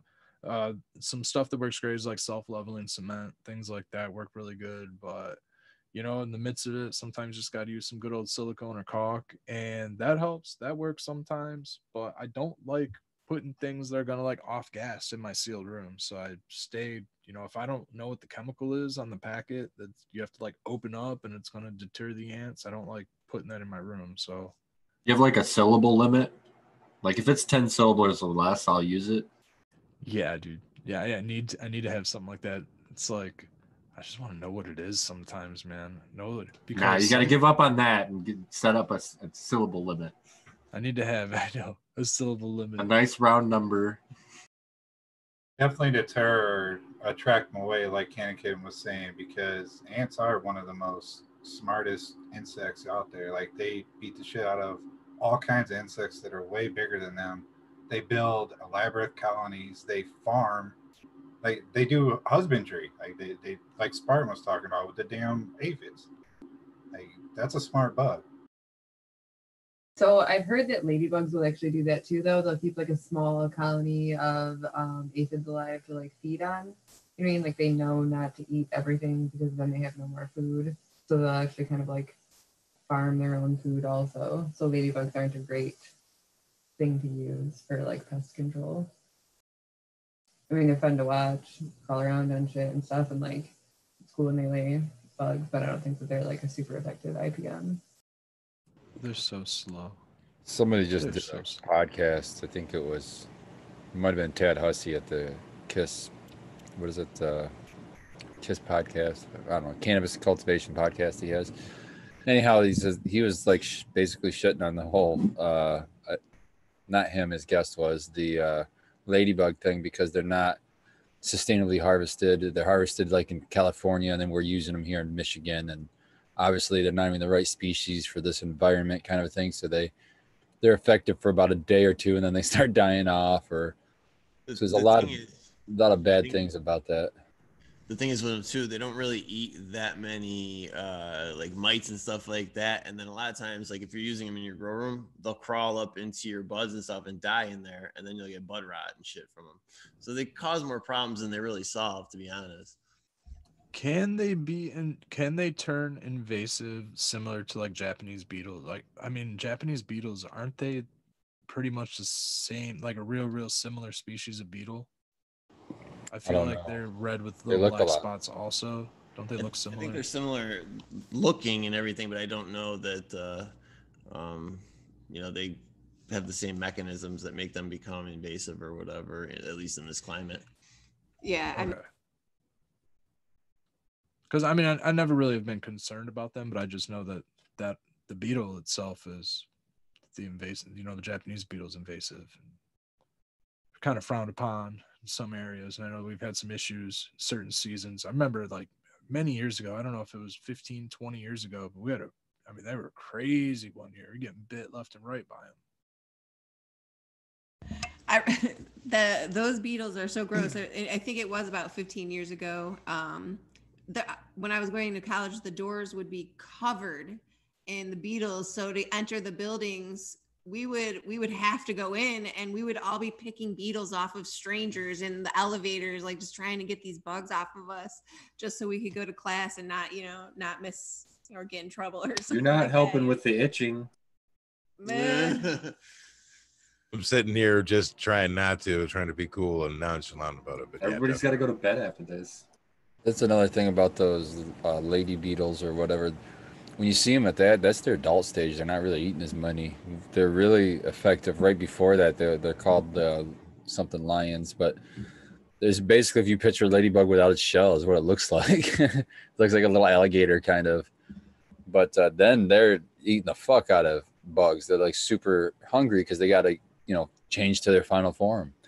But once they're there, they're, they're just kind of you know eating to survive and to, to mate at that point. And so when you get ladybugs that are in the adult form already you're already kind of wasted your money.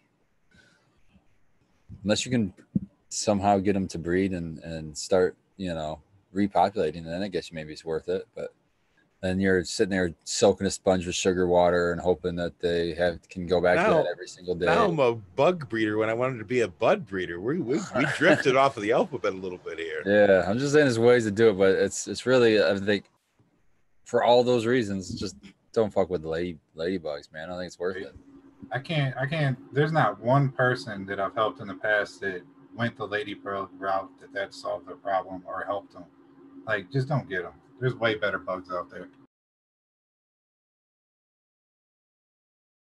I like growing. Oh, sorry, I gotta bump that up a little bit. I like growing like the rosemary and the dill and the things that are gonna bring in the bees and stuff. I like I like bees, man. It's, I love seeing bees out there. I know that there's pollination going on, and they need to eat something. You know. I'm getting so many bees in my yard this year. It's awesome. The They have butterfly. those little like mason bee boxes that you can build, which I think it's basically just like paper straws inside a little box, and those are supposed to be really good for pollination. Like the one time I got to go to a garden store this year, I saw those everywhere. So that's a thing that I might look into try to like build on Those are my actually own. those are actually super bad. They they rip their wings and shit trying to go in those. Oh, really? Good to know.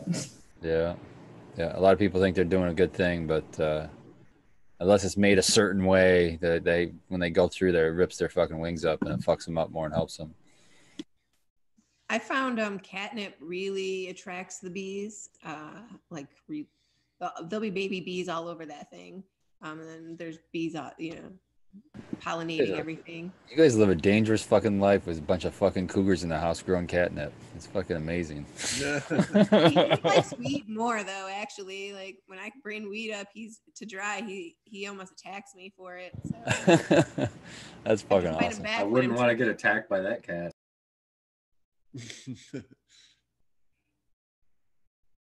All right, guys, we're there. We got to roll into our final shout outs. This is another cool show. Chat was laughing along with us a lot in this one. I think we really had fun. Uh, thank you, everyone, for joining us. Spartan, where can everyone find you, bro?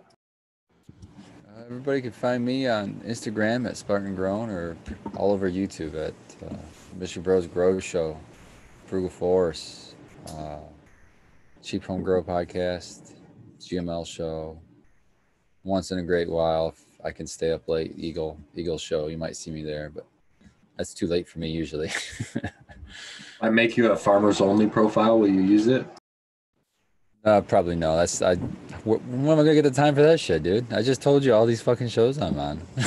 It's a good point. It's a good point. Thank you. Red, where can everyone find you, bro?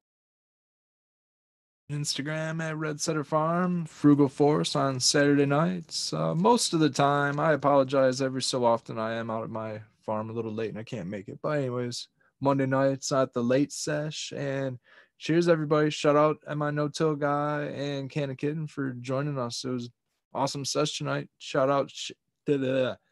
Joints got me all bumbly. Uh, chat and all the whole cannabis community. Cheers, everybody. Peace out. Rock and roll. Love you all. Thanks, Red. Thank you. Uh, Canna Kate, where can everyone find you? Um, on Instagram at the Canna Kate or here on Sunday nights or on whatever day of the week we end up dropping weekly updates for my new little grow tent. Thank you guys for hanging out tonight. Thank you. Abolished Farms in Miss C. House Farms. You can find me on IG and YouTube and wherever you see MBGS Productions.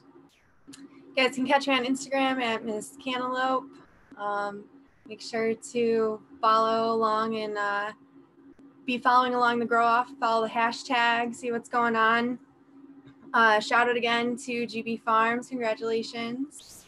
And you guys are all doing a great job. Like everyone's plants are kicking butt. Um, so shout out 2020. There's some really good genetics we've got going on.